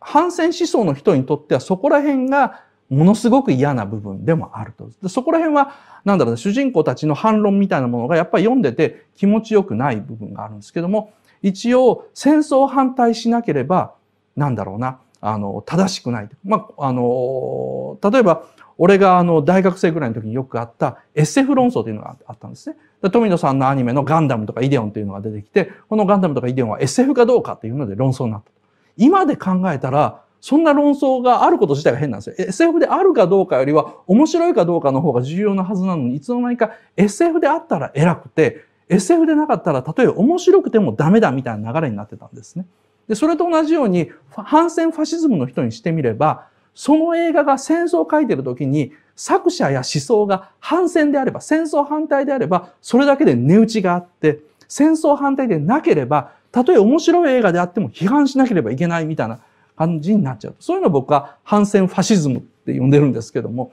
そういう反戦ファシズム思想に対して、その批判的な視点を持ってる、まあ、原作だったんですね。で、あの、映画版のですね、えー、山崎監督版のですね、永遠のゼロっていうのは、それにですね、もうちょっと味付けというかですね、別の意味を加えてるんですね。これ、あの、永遠のゼロを見た時に僕ニコ生でも語ってですね、その時はちょっと語り足りなかったとかですね、ちょっと舌足らずな部分があったんですけど、僕、あの、映画版のですね、永遠のゼロで一番感動したのは原作にない部分なんですよ。えっ、ー、と、映画版の永遠のゼロって最後どういうふうになってるのかっていうと、主人公がついに、その、なんだろうな、これまでは特攻から逃げて逃げて、自分で死ぬことを逃げて、戦闘からも回避して生き残ってきた主人公が、ついに敵の空母に体当たりをするためにこう行くって話。えー、ジブリの話はって書いてるんですけど、すいません。まだゼロ戦の話です。えー、宮崎駿とか戦争の関係性を語るにはこの永遠のゼロっていうのを書いてからでないとダメなのですね。話さないとダメなんで。えー、で、あの、敵の空母に突っ込む。で、敵の空母に突っ込むときにですね、主人公はそれまで、えー、映画の中ではですね、ほとんど見せてなかったいろんな技を見せるんですね。例えば、えー、横滑りとか頭ひねりとかですね、そういう飛行機の飛ばし方なんですけども、どう言えばいいのかな？これあの、前回も使ったこうミニチュアなんですけども、飛行機ってこういうふうに飛ぶってこう、みんな思うじゃないですか。こう、まっすぐまっすぐ飛ぶって。これその通りなんですけども、飛んでいるベクトルがこうであれば、例えばこの方向打をひねったら、頭をこう振りながらもまっすぐ飛ぶんですよ。自動車じゃないんですね、飛行機っていうのは。自動車じゃないというか、ドリフト走行してる自動車に近いのかな。だから頭を下げてだろうが、上げてだろうが、首を振ってだろうが、飛行機が進むベクトル自体は変わらないと。で、映画版の永遠のゼロでですね、一番最後に主人公が特攻するときに使った技法、これでですね、えー、頭をひねりながらえー、まっすぐ飛んでいくんですね。そうすると、アメリカ軍のですね、それを撃ち落とそうとする兵隊は、ゼロ戦の方向自体を目で見てるから、目で飛び方を追って、あ、頭ひねってるからこっちへ飛んでるんだと思いながら、この、こっちの目標の方にこう弾を撃つわけですね。ところがこいつは頭をひねってるけど、ベクトル自体はこちらだから、こちらへ進んでるんですよ。だから、弾が当たらない。なぜだっていうシーンがあってですね、僕はそこら辺でこう、続々と感動してですね、なんでしょうね。これもあの、いけない戦争を語ってるのに高揚する感動なのかわかんないですけども、なんで僕が感動したのかっていうと、主人公はそこまでの技を持ってながら、それまでずっと永遠にそれを封印してたんですね。なんでかっていうと自分には守らなければいけない約束があるから。それは何かっていうと妻のもとへ家族のもとへ生きて帰るっていう約束があるから、そんな技術を持ちながらずっと封印して周りから卑怯者とか何というふうにな言われてもその技を一切見せずに、ずっと、なんだろう、戦争、戦闘から逃げてきたんですね。ところが、ラストのラスト、なんだろう、もうついに逃げれなくなった。で、自分の身代わりに、その、後輩、部下が死んでしまったっていうふうなことで、主人公はついに自分の番が来たというふうに覚悟するんですね。で、憔悴しきった感じだったんですけど、ゼロ戦に乗ってからは、その、これまでの全ての技を映画版の山崎映画版でそれ書かれるんですよ。繰り出して敵の戦艦にガーッと、その特攻していくと。で、最後、その、それをやりながらですね、まあ山崎監督ですから、ちゃんとね、スタンダードな感動を届けるんですよ。あの、いろんなこれまでに登場した人物が笑ってこっちを見ながら、徐々に徐々にカメラがトラックアップしていく。トラックアップっていうのは何かというと、ズームでこうアップにするんではなくて、ドリーレールっていうですね、レールを引いてカメラを上に乗せて、で人物に寄っていく技法です。この人物に寄っていくズームっていうのは、この人に注目っていうことなんですけども、ドリーによる寄りっていうのはどういうふうな意味があるかっていうと、今、それを主観で見てる人の気持ちが伝わっているとかですね、もしくはそのキャラクターの思いを見てる人に伝えるっていう意味があるんですね。ズームとそのカメラ自身を移動するっていうのは全く別のものなんですよ。これを、あの、スティーブン・スピルバーグのジョーズではですね、えー、海の中で少年がサメに食い殺される瞬間にブロディ所長に顔によるっていうのをですね、ズームアップとトラックバックを 両方やるというですね、あの、ちょっとね、ありえない技法。ヒッチコックがめまいの中で一瞬だけ使った技法なんですけど、それをやって、ちょっとすごい変な感じ出したんですけど、ちょっとすいません。今話を横にそれました。で、ズーム、あの、トラックアップしながら、いろんなですね、その、これまでの登場人物全部を出して、主人公の頭の中にいる、そのなんだろうな、人のつながりとかですね、あとは後世で、彼はどのような人の中で生き続けたかと。人間っていうのは人生が死んだ瞬間に終わるんじゃなくて、その人を語る人、思い出す人が亡くなった瞬間に、この世の中からいなくなるって考え方があるんですけど、割とそれに近いですね、あの、縁、仏縁とかですね、あの、東洋の縁に近いような考え方っていうのを映画の中で出すんですね。で、ありながらですね、そういうふうなものを見せて、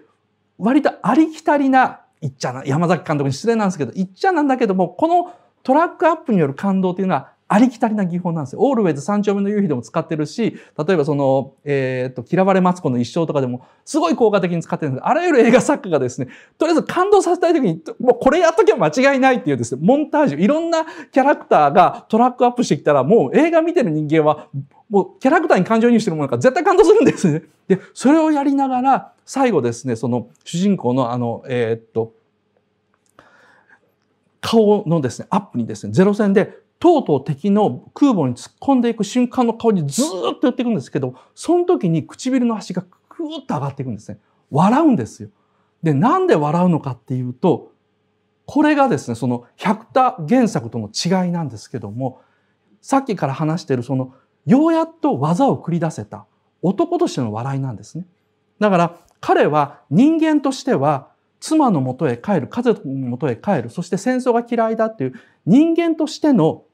その主人公であるのと同時に、一人の男としては、周りから卑怯者と言われると、やっぱそのために、そのために心がですね、こう打たれるわけですね。そのために心が打たれて、俺も戦いたいっていう部分がどっかにあったんですよ。でどっかにあったからこそ、最後に敵に特攻するときに全ての技を繰り出して、ゼロ戦のパイロットで戦争する人間として、戦う男としての自分を全うできた喜びですね。その時にはもう、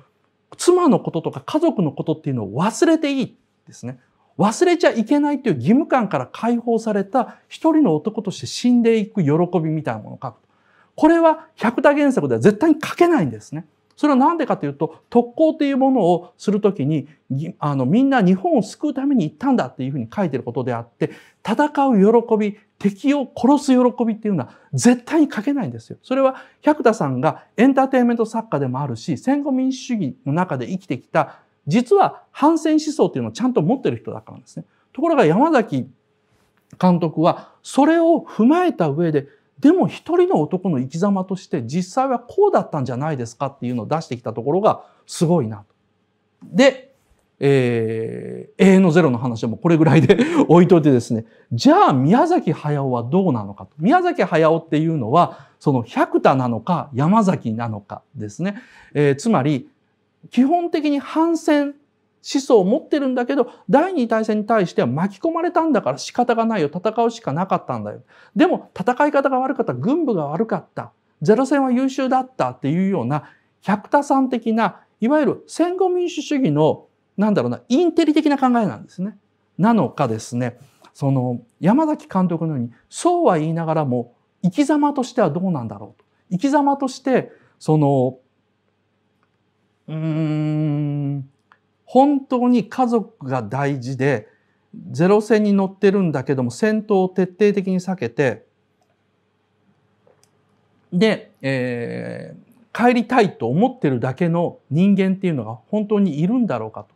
なんか、なんで戦争ものとかっていうのが僕らの心を震わせるのかっていうと、そうじゃないところがあるんじゃないのかっていう。ここがですね、その、風立ちぬを見るときにもですね、入ってくるべき視点だと思うんですね。で、風立ちぬって、あの、すごいね、舌足らずな作品なんですよ。それは、宮崎駿が、あの、なんだろうな、もう、ウェルメイドなお話っていうのを作るのを、ある程度諦めてるからなんですね。えー、言葉足らずでしょっていうのが出てきた。今ちょっとコメントなんですけど、言葉足らずじゃないですよ。舌足らずなんですよ。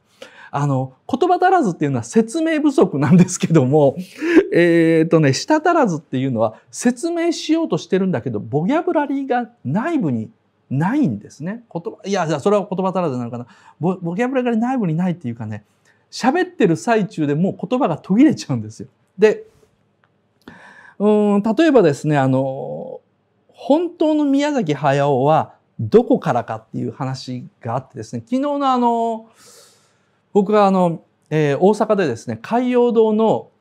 専務とですね、あの、対談してですね、あの、専務、で、海洋堂の専務のとの話でもやっぱ風立ちの話が出て、すごい盛り上がった2時間ぐらいの対談があってですね、これはあの、そのうちですね、このブロマガチャンネルでも公開するそうなのです。あ、28日に放送するそうですけども、えー、これもぜひ見といてください。えー、ここでもですね、あの、ちょっと話したんですけども、どこからが宮崎駿は狂ったのかっていう話になったんですね。えー、狂ってない宮崎駿はやっぱり一番人気のラピュタとかナウシカとかなんですよ。つまり、宮崎駿は、あ専務じゃなくて社長だよってコメントが違います。えー、あれは、えー、海洋堂の社長という立場ですけど、彼は自分のことを専務と呼んでますし、あの、えー、大好き専務さんって歌があるぐらいですね。まあいいや。すいませんね。話してる最中にコメント読んじゃうと、そっちの方に心が流れちゃうので。で、あの、なんだろう、ちゃんとしたウェルメイドっていうか、よくできたっていう意味なんですけども、エンターテインメントとしての完成度が高いのはもちろんカリオストの城とか、あとラピュタとか、あと紅の豚もそうなんですね。その辺そうなんですけども、あの、僕が見るに、もののけ姫あたりからですね、宮崎駿はこう、悪い言い方かもわかんないけど、まあ僕にしてみればいい意味で狂ってきたんですね。なんか、うん、お話としてですね、終わらないものを作ってる。だって、もののけ姫って、なんかラストに救いも何もないし、オチも何もないんですよ。あのー、アシタカがですね、3にですね、あのー、また来るから会おうよみたいな形で終わってるですね、全然お話として終わりきれてないんですけども、その前の魔女の宅急便っていうのは最後に例えば飛行船出して落ちそうっていうのがあって、女の子があって、魔力を失ってしまったんだけど、そういう、もう一回魔力を取り戻すっていう、その地方にいた女の子がアニメーター、になりたくてジブリに入ったんだけどアニメってこんなもんでなんか誰かのためになるのかしらいいのかしらっていうのをなんとか乗り越えて自分の中の作家性っていうのを取り戻すような話が、まあ、魔女の宅急便なんですね。はっきり言って。はっきり言ってあれはもうジブリの自伝映画みたいなもんなんですけども。で、そこまではよくできたお話なんですけども、もののけ姫からこっちですね、もののけ姫、千と千尋、ハウルってですね、もうお話的に超デタラメなんですね。なんでこれどうなってんのって、ハウルなんて最後、えー、そろそろ戦争終わりましょうかって偉いお姉さんが言ったらもうそれで終わってしまうっていうですね、えー、僕は実は隣の国の王子様で魔法かけられたんだって、何これっていうような終わり方をするんですけども、なんかあの、もう、早尾先生、そこら辺はですね、もういいと思ってるんですね。で風立ちぬの一つ前のポニョなんて、あの、わけわからん話そのものでですね、えー、小学校の男の子と幼稚園児の恋の話でですね、で最後に地球を滅ぼすようなですね、ゴッドマザーみたいな海からですね、巨大なお母さんが現れて、宗介、もしあなたがポニョのことを捨てたら地球は滅びるわよってとんでもない約束をしてですね、宗介くん、なんか小学校低学年かな、幼稚園児かな、ぐらいにして、あ、幼稚園児だ、幼稚園児にして、なんか未来の嫁さんとですね、生涯浮気してはいけない。浮気したら地球を滅ぼす宣言を お母さんからされるっていうですね、何かもう、いやいや、理屈で言うとこういうふうなですね、変な話なんですね。それを僕らは、なんかすごく自然に見れてしまう。それはもう宮崎駿の中で論理的整合性みたいなものがもうどうでもいいと思ってですね。だって宮崎駿って宇宙戦艦ヤマトをですね、散々悪口言ってた人なんですよ。宇宙戦艦ヤマトで、あの、さらば宇宙戦艦ヤマト、さらば宇宙戦艦ヤマトで、もう白色水星帝国に何の兵器もないって言って古代進が絶望してたら、死んだ起きた艦長が声がして、古代、お前には最後の武器がある、命だって言われて、そうかって言って、ヤマトでこう特攻して、ドカンと爆発してっていうのに対して、特攻でなんだろう、最後、敵の前に自分の命を差し出して、それで勝とうなんてするのは、第二大戦の時の、あの、なんだろう、万歳アタックと同じで、くだらないっていうふうに宮崎駿が散々悪口を言っときながら、自分がナウシカを原作漫画書いてる時から、向こうからオウムの大軍がやってくる。さあ、どうするかって時もういよいよ思いつかなくなって、ついに、あナウシカがこうやってきて、ドーンって跳ねられて、生き返ったからよかったって話なんですよね。なんか、その、なんだろう、それぐらい見なきゃ、でも、そこ、それがしたくなくてしたくなくて、最後の最後まで悩んでたっていうぐらいは、一応ですね、お話の論理的な整合性っていうのを大事にするというか、まあ、ウェルメイドな話を作る人だったんですけども、その、もののけ姫、千と千尋あたりからですね、全くそういうふうなことを考えなくなってきた。だから、この辺がこの、宮崎駿はこう狂ってきた。でなんでそれがその海洋堂の専務と話で出てきたのかというと、海洋堂の専務って、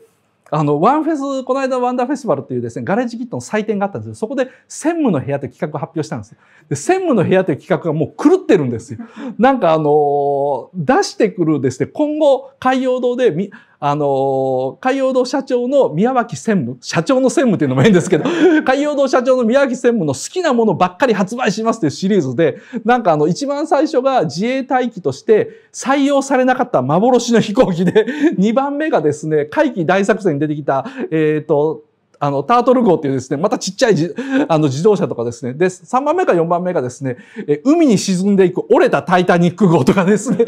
なんか変なもんばっかり作るんですね。で、それは本人にしてみたら、その、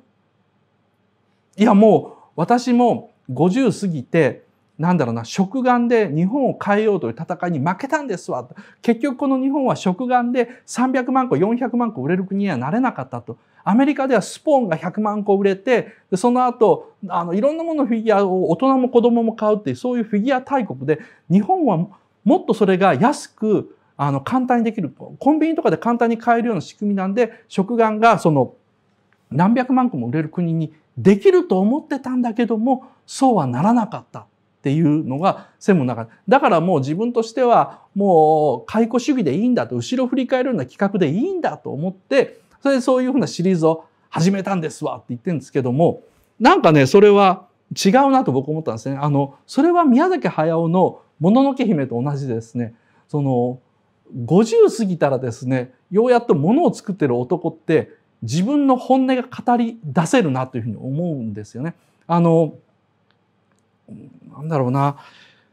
うーん、宮崎駿もやっぱもののけまではウェルメイドなんですけども、自分自身が乗っかってないんですよ。自分自身が乗っかった作品じゃない。つまり、こいつは俺だじゃない。例えば、カレオストロのルパンは宮崎駿じゃないんですけども、もののけ姫あたりからは登場人物の中に宮崎駿が入り出すんですよね。で、これって僕は逆襲のシャーショックって言っててですね、またすいません、他の人の作品になりますけど、逆襲のシャアが当時のアニメ業界に与えた影響ってすごかったんですよ。あの、逆襲のシャアって、富野義行がですね、まあ、もともといろんな人にシャアは富野さん自身の投影でしょみたいなことを言われてたんですけども、それはウェルメイドな作品としてなんですね。機動戦士ガンダムってある程度ウェルメイドな作品なんですけども、逆襲のシャアっていうのはもうオチも何にもないんですよ。もうオチも何にもなくて、富野義行イコールシャアであって、あの中に出てくるそのなんだろうな、アクシズを地球に落として地球を破壊してやるって、あれって何かっていうともう富野義行の葛藤なんですよ。あの、アニメの中でなんでシャアはアクシズを地球に落とすのかっていうと人類を粛清するためだって言ってるんですけども、それはどういうことかっていうと、地球がまだあるからいけないんだと。まだ人間には帰れる場所がある限り人は大人になれないということなんですね。これはもう海のトリトンを作った頃からの作家富野義行の一貫の主張であって、青春というのは喪失であると。何か絶対にやってはいけないことをやってしまって、失ってはいけないものを失ってしまって、その苦しみが青春であると。そこから人は大人になると。その苦しみなくして大人になった人間なんか一人もいないっていうですね。なんか、なんでそんなの海の鳥と見ながら教えられなきゃいけないんだよって思うんですけども。これが富野義行の主張なんですね。だから、シャアはアクシズ、つまり巨大な人、あの、小惑星を地球に落とさなきゃいけないんですよ。人類は地球があるから地球に帰れると思っていると。だから地球を破壊することで残った人間は地球を失ったという巨大な喪失の後にやっと大人になれると。キリスト教徒っていうのは同じ人間がキリストを処刑してしまったっていう責任とか罪を背負った上でないと神を信じることはできない。巨大な喪失がなければ人間は前へ進めないっていうこのなんでしょうね。ギリシャ以来以来のですね、富野主義の西洋哲学っていうのがガコーンって入ってるのが逆襲のシャアなんですよね。で、逆、これを見たときにですね、その アニメ関係者とびっくりしたことは、富野さんすげえよと、特にもう安野とかとの狂い、狂い方っていうのがですね、参りましたとしか言えないんですね。いわゆる富野宮崎の戦いっていうのは一時的に宮崎が勝ったとみんな思ったんですよ。ナウシカみたいにすごいのやってて、富野さんは昔ガンダムやったんだけども、その後イデオンとかなんか調子悪いよね、みたいなところで、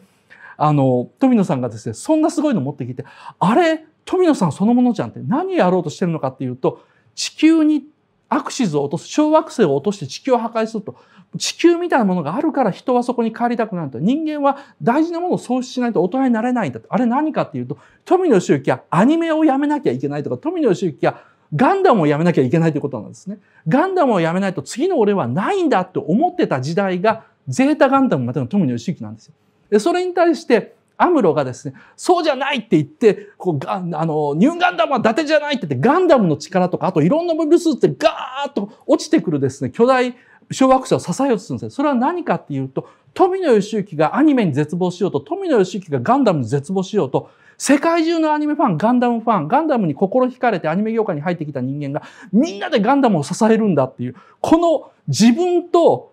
アニメのファンとかガンダムのファンたちとの対立構造をアニメの中でやっちゃったっていうですね、とんでもないことやってるんですよ。なんかね、その、俺あの、ガンダムの中でこういうことをちゃんと言ってる人見たことないんですけども、当時のアニメ関係者に、ええー、っても、だからニューガンダムは伊達じゃないというのは何かっていうと、それを富野義行はまだまだ作品として作れるぞ。俺はまだまだ現役の作家なんだっていう叫びがこのガンダム論としてですね、一つのガンダム映画の中に入ってるんですね。だから、お話としてはデタラメでですね、結局この小惑星地球に落ちてきたのとか、シャーって何がしたかったの？ニューガンダムって伊達じゃなくて何なのとか、アムロは最後なんか小惑星支えてたんだけども、あの後書かれなくて、あいつ生き残ったのどうなったのっていうの、全く関係なく TM レボリューションの歌が流れ出してですね。メビウスの輪がってやつで。でももう見てる人間関係ないんですよ。何か心惹かれるっていう。話はもう出たらめだ。TM レボリューション、TM ネットワークですいませんです。はい。えー、全く出たらめなですね、映画なんですよ。で、これをですね、その、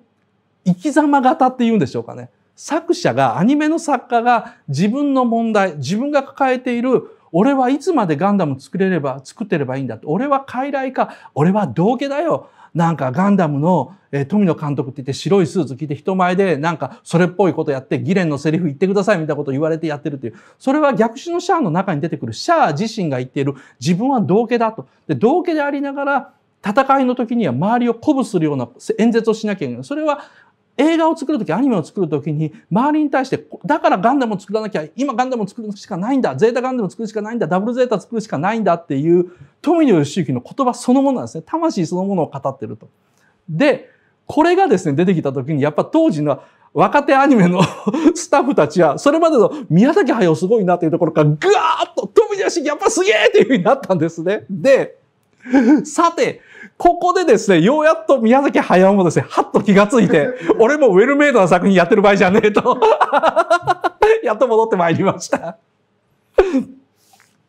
えー、ここからですね、その、えー、何でしょうかね。宮崎駿のですね、じゃあ、自分の中でアニメ作るとは何だろうっていう問いかけですね。何を作ればいいんだろう。隣のトトロでいいんだろうかっていうようなことが、その僕が、えー、ちょっと別のところで語ったオンユアマークはどういう意図で作られて何を作ろうとしてるのか。あれは宮崎駿自体がそのアニメを作ることの罪と罰ですね。えー、アニメを作れば作るほど、隣のトトロっていうのは子供たちに外へ出て遊べっていうメッセージを本当に宮崎駿が渾身の力を込めて作ったら、大ヒットしたおかげで、日本中の家庭が隣のトトロのビデオを買って、で、幼稚園とか保育園が DVD を買って、レーザーディスクを買って、もうエンドレスで上映して子供たちは外で遊ばなくて、毎日トトロを見て、お母さんが宮崎駿を見るたびに、宮崎駿さんありがとうございます。うちの子供毎日トトロを見てます。宮崎駿が、そんなことじゃなく外で遊べって言いたかったのにっていう、この罪と罰ですね。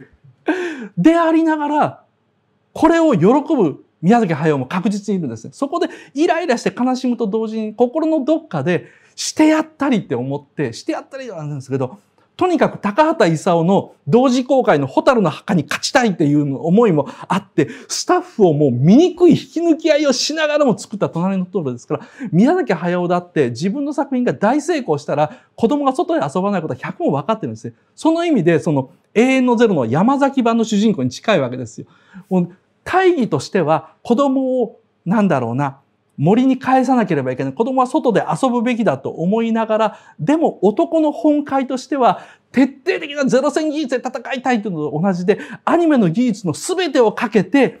俺のアニメだけを見せたいと。もうエヴァがヒットしたら、エヴァなんか見てませんくだらないですっていうふうに散々言い、ガンダムがヒットしたら、あんなものはもうバイクみたいなもんですよっていうふうに悪口を言いっていうのは、もうその手塚治虫と同じなんですね。その、やっぱり自分の作品だけを見てほしいしっていうのが、心の中にクリエイターだからある。そのアンビバレンスなものがある宮崎駿っていうのがですね、その後期ですね、もののけ姫以降の宮崎駿っていうのを作ったんではないかというふうに思ってます。はい、お疲れ様でした。無料版ここまで長かったですね。えー、まあ、あの、アップグレード情報なんですけども、えー、宮崎駿はですね、今回語ってるですね、風立ちぬの完成直後に、まあ、あの、引退宣言しました。まあ、引退宣言何度目かですね。えー、4回目だと思うんですけど、まあ、あの、後にね、やっぱりあの、いつものように引退を撤回したのでですね、やめるやめる詐欺とかいうふうに、言われてるというか、まあ僕なんかそういうふうに呼んでるし、まああの、まあね、あの、愛するがゆえのディスリーなんですけど、宮崎さん辞めるって言ったら寂しいから、辞めるというたびに、また引退宣言だよ。で、また作り出した瞬間に、ほら、やっぱり引退宣言撤回したっていうですね、もうすごく嬉しくていじっちゃうんですけども、あの、ここ、今回のアップグレード情報でこの引退宣言について語っていこうと思います。えー、正直に言いますとですね、この2015年2月の段階ではですね、あの、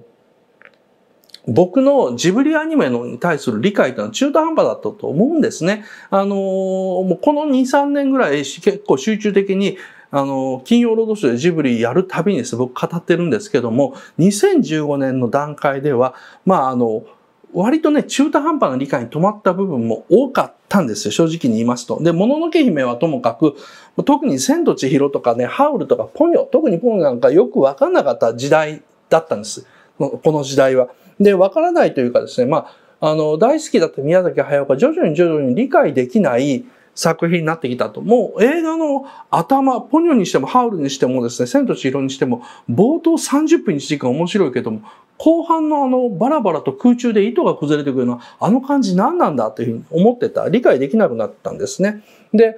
それは逆に言えば、あの、それまで一番好きだった宮崎アニメが、ラピュタであったり、ナウシカだったりするのでですね、そういう問答無用に面白い、なんか、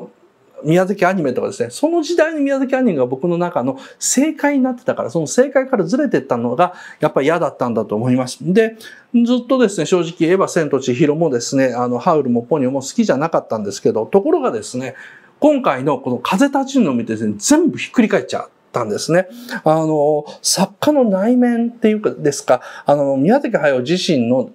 のですね、内面を70歳超えたですね、もうじいさんがですね、自分の未熟な部分とかですね、あと矛盾をアニメの中で出してきたんですよ。あの、まあ、それを円熟したアニメ表現っていうんですかね。あの、若い頃みたいなシャニムな作画とかすごい部分というよりは、抑える部分は抑える。で、えー、うわっと動かす部分は人並みを動かすみたいにガーッと動かすっていうようなことをしながら、彼が何をしたのか、宮崎駿が何をしたのかっていうと、もうじいさんになったから、枯れた世界を見せるんではなくて、さあついに俺の中で自分でももう矛盾している部分っていうのが、自分でも見たくない部分というのを出すぞと言って出してきたと。で、これにもう本当に感動したんですね。で、それで、急に逆に言えば、ポニョが、千と千尋が、ハウルが分かるようになったんですよね。あの、で、面白くなっちゃったんですよ。で、そういう視点で見直すと、ああ、やっぱ宮崎駿にとってですね、冷戦、ゼロ戦ですね、冷戦は、あと第二次世界大戦っていうのは、もうこれで作家活動は終わりだと、もう引退するからというですね、本気の宣言、本気の覚悟だったと思うんですよ。だから書けたんですよね。そういう本気の覚悟がないと、もうやめるっていうふうに覚悟しないと書けなかった世界なんだろうなと思うんですよ。だからあの、あの、今回も永遠のゼロをですね、実写版を引き合いに出して、えー、語るしかなかった永遠のゼロの中で、実写版の方で、一体山崎監督が原作を超えて何を見せようとしたのかっていうのをですね、ちょっとそれを引き合いに出して、これと同じようなことがっていう、何かその、最後の最後に、えー、死を意識したからこそ、じ一人の人間として自分は何が本当はしたかったのかっていうのを追求できるっていう、なんかその世界とね、似てるなというふうに思ったんですよね。あの、ラピュタみたいなですね、その、架空の懐かしメカだったら、宮崎駿いくらでも描けるんですよ。ちょっとレトロなメカで懐かしメカだったら宮崎駿いくらでも描けるし、もうロボットだろうがですね、あとはまあ、もののけ姫のたたり神のような恐ろしいモンスターって宮崎駿って描けちゃう人なんですけども、でも第二次大戦はずっと描けなかった。で、ゼロ戦も零戦も書けない、えー、書くわけにいかないんですね。あの、このブレーキが他人から見たらどうでもいいんですよ。宮崎駿のそのこだりってどうでもいいんですけど、本人にとってですね、その自分の芯なんですね。自分の中の絶対守りたい一線。あの、人間宮崎駿としては、それは絶対に書かないっていうのは自分の中で絶対守りたい一線だったんですけどね。ところがその人間宮崎駿と作家宮崎駿は別人格。なんですよ。あの、作家宮崎駿は、あの、自分の力でゼロ戦を書きたい、冷戦書きたいと、まあ、思って、ずっとその思いが募って、ついに、人間宮崎駿をこう否定しちゃうというか、押さえつけちゃうんですね。否定しちゃう。あの、だからこそ、その、あの、風立ちの作った後に引退宣言しなきゃいけなかったんですよ。だって、それをやらないってことが人間宮崎駿のけじめで真だったんですけど、それを作家がついに自分の人間性を抑えちゃうわけだから、それに対するけじめの付け方、もうじゃあこれで俺はアニメを作りません。引退しますということだったんですね。えー、だからそういうふうなことが、今見るとわかるというか、その風立ちの見た時にわかるようになったので、その2015年あたりの自分の宮崎駿アニメ評論っていうのが、まだまだちょっとね、食い足りないなっていうふうに思っちゃうんですけどね。えー、まあ、宮崎駿にとっての戦争というのをここまで話しましたけども、ここからの後半の動画はですね、宮崎駿の作家としての変遷、作家としてどういうふうに変化してきたかっていう話に入っていきます。あの、前半でも少し話したですね、あの、富野義行監督の逆襲のシャア。これ、富野義行監督にとってはですね、自分自身の中の、やっぱ同じなんですよね。あの、未熟な部分、恥ずかしい部分を晒すような告白的な映画。まあ当時はですね、あの、パンツを脱いだっていうふうによく言う、あの、アニメ評論業界では言われてたんですけど、そういうふうな映画だと。ところが、パンツを脱ぐっていうのは具体的にどういうふうなことなのかと。これあの、評論をしていた人とか、あと当時アニメ界にいたアニメーターの人たちっていうのは便利に使ってたんですけども、あの、具体的にはどういうふうなことなのか、あと、あの、逆襲のシャアという作品が当時のアニメ界にどんな影響を与えたか。実はかなり影響を与えた作品なんですけど、で、そういうですね、その、それを、そういうアニメ界の変化ですか？アニメ界の中にも、いわゆるその作家性のある人がどんどん出てくる、作家性のある作品が溢れてくることによってですね、その、宮崎駿も変わっていくわけですね。宮崎駿はそれまではウェルメイドな、つまりお話としてよくできたような話を作ってきた人なんですけども、その人はですね、いつこのパンツを脱ぐような作品を作ろうとするようになったのか。まあ、先に言っちゃうとですね、宮崎駿は、その、この風立ちぬっていう作品が宮崎駿が本音を全て出した、矛盾を出した。それまでのポニョとかハウルとかっていうのは、やっぱり自分の中で恥ずかしい部分っていうのはちょろ出しだったんですけども、あの、もうやめる、引退するというふうに決めてた作品だからこそ、風立ちぬはですね、すごい宮崎駿の大告白作品になったと思ってるんですけど。まあ、どの辺が、まあ、さっきの話で言うとパンツを脱いだか、まだパンツパンツってこんなに言ってもしょうがないですけど、パンツを脱いでるのかっていう話ですね。そういう話をしていきます。えー、ここから先は有料の放送になります。続きが見たい方はですね、YouTube のメンバーシップかドワンゴのですね、ブロマガチャンネル岡田敏のアーカイブどれでも結構ですから、えー、入会してみてください。もう本当に8月は損をさせませんので、あの、よろしければお願いします。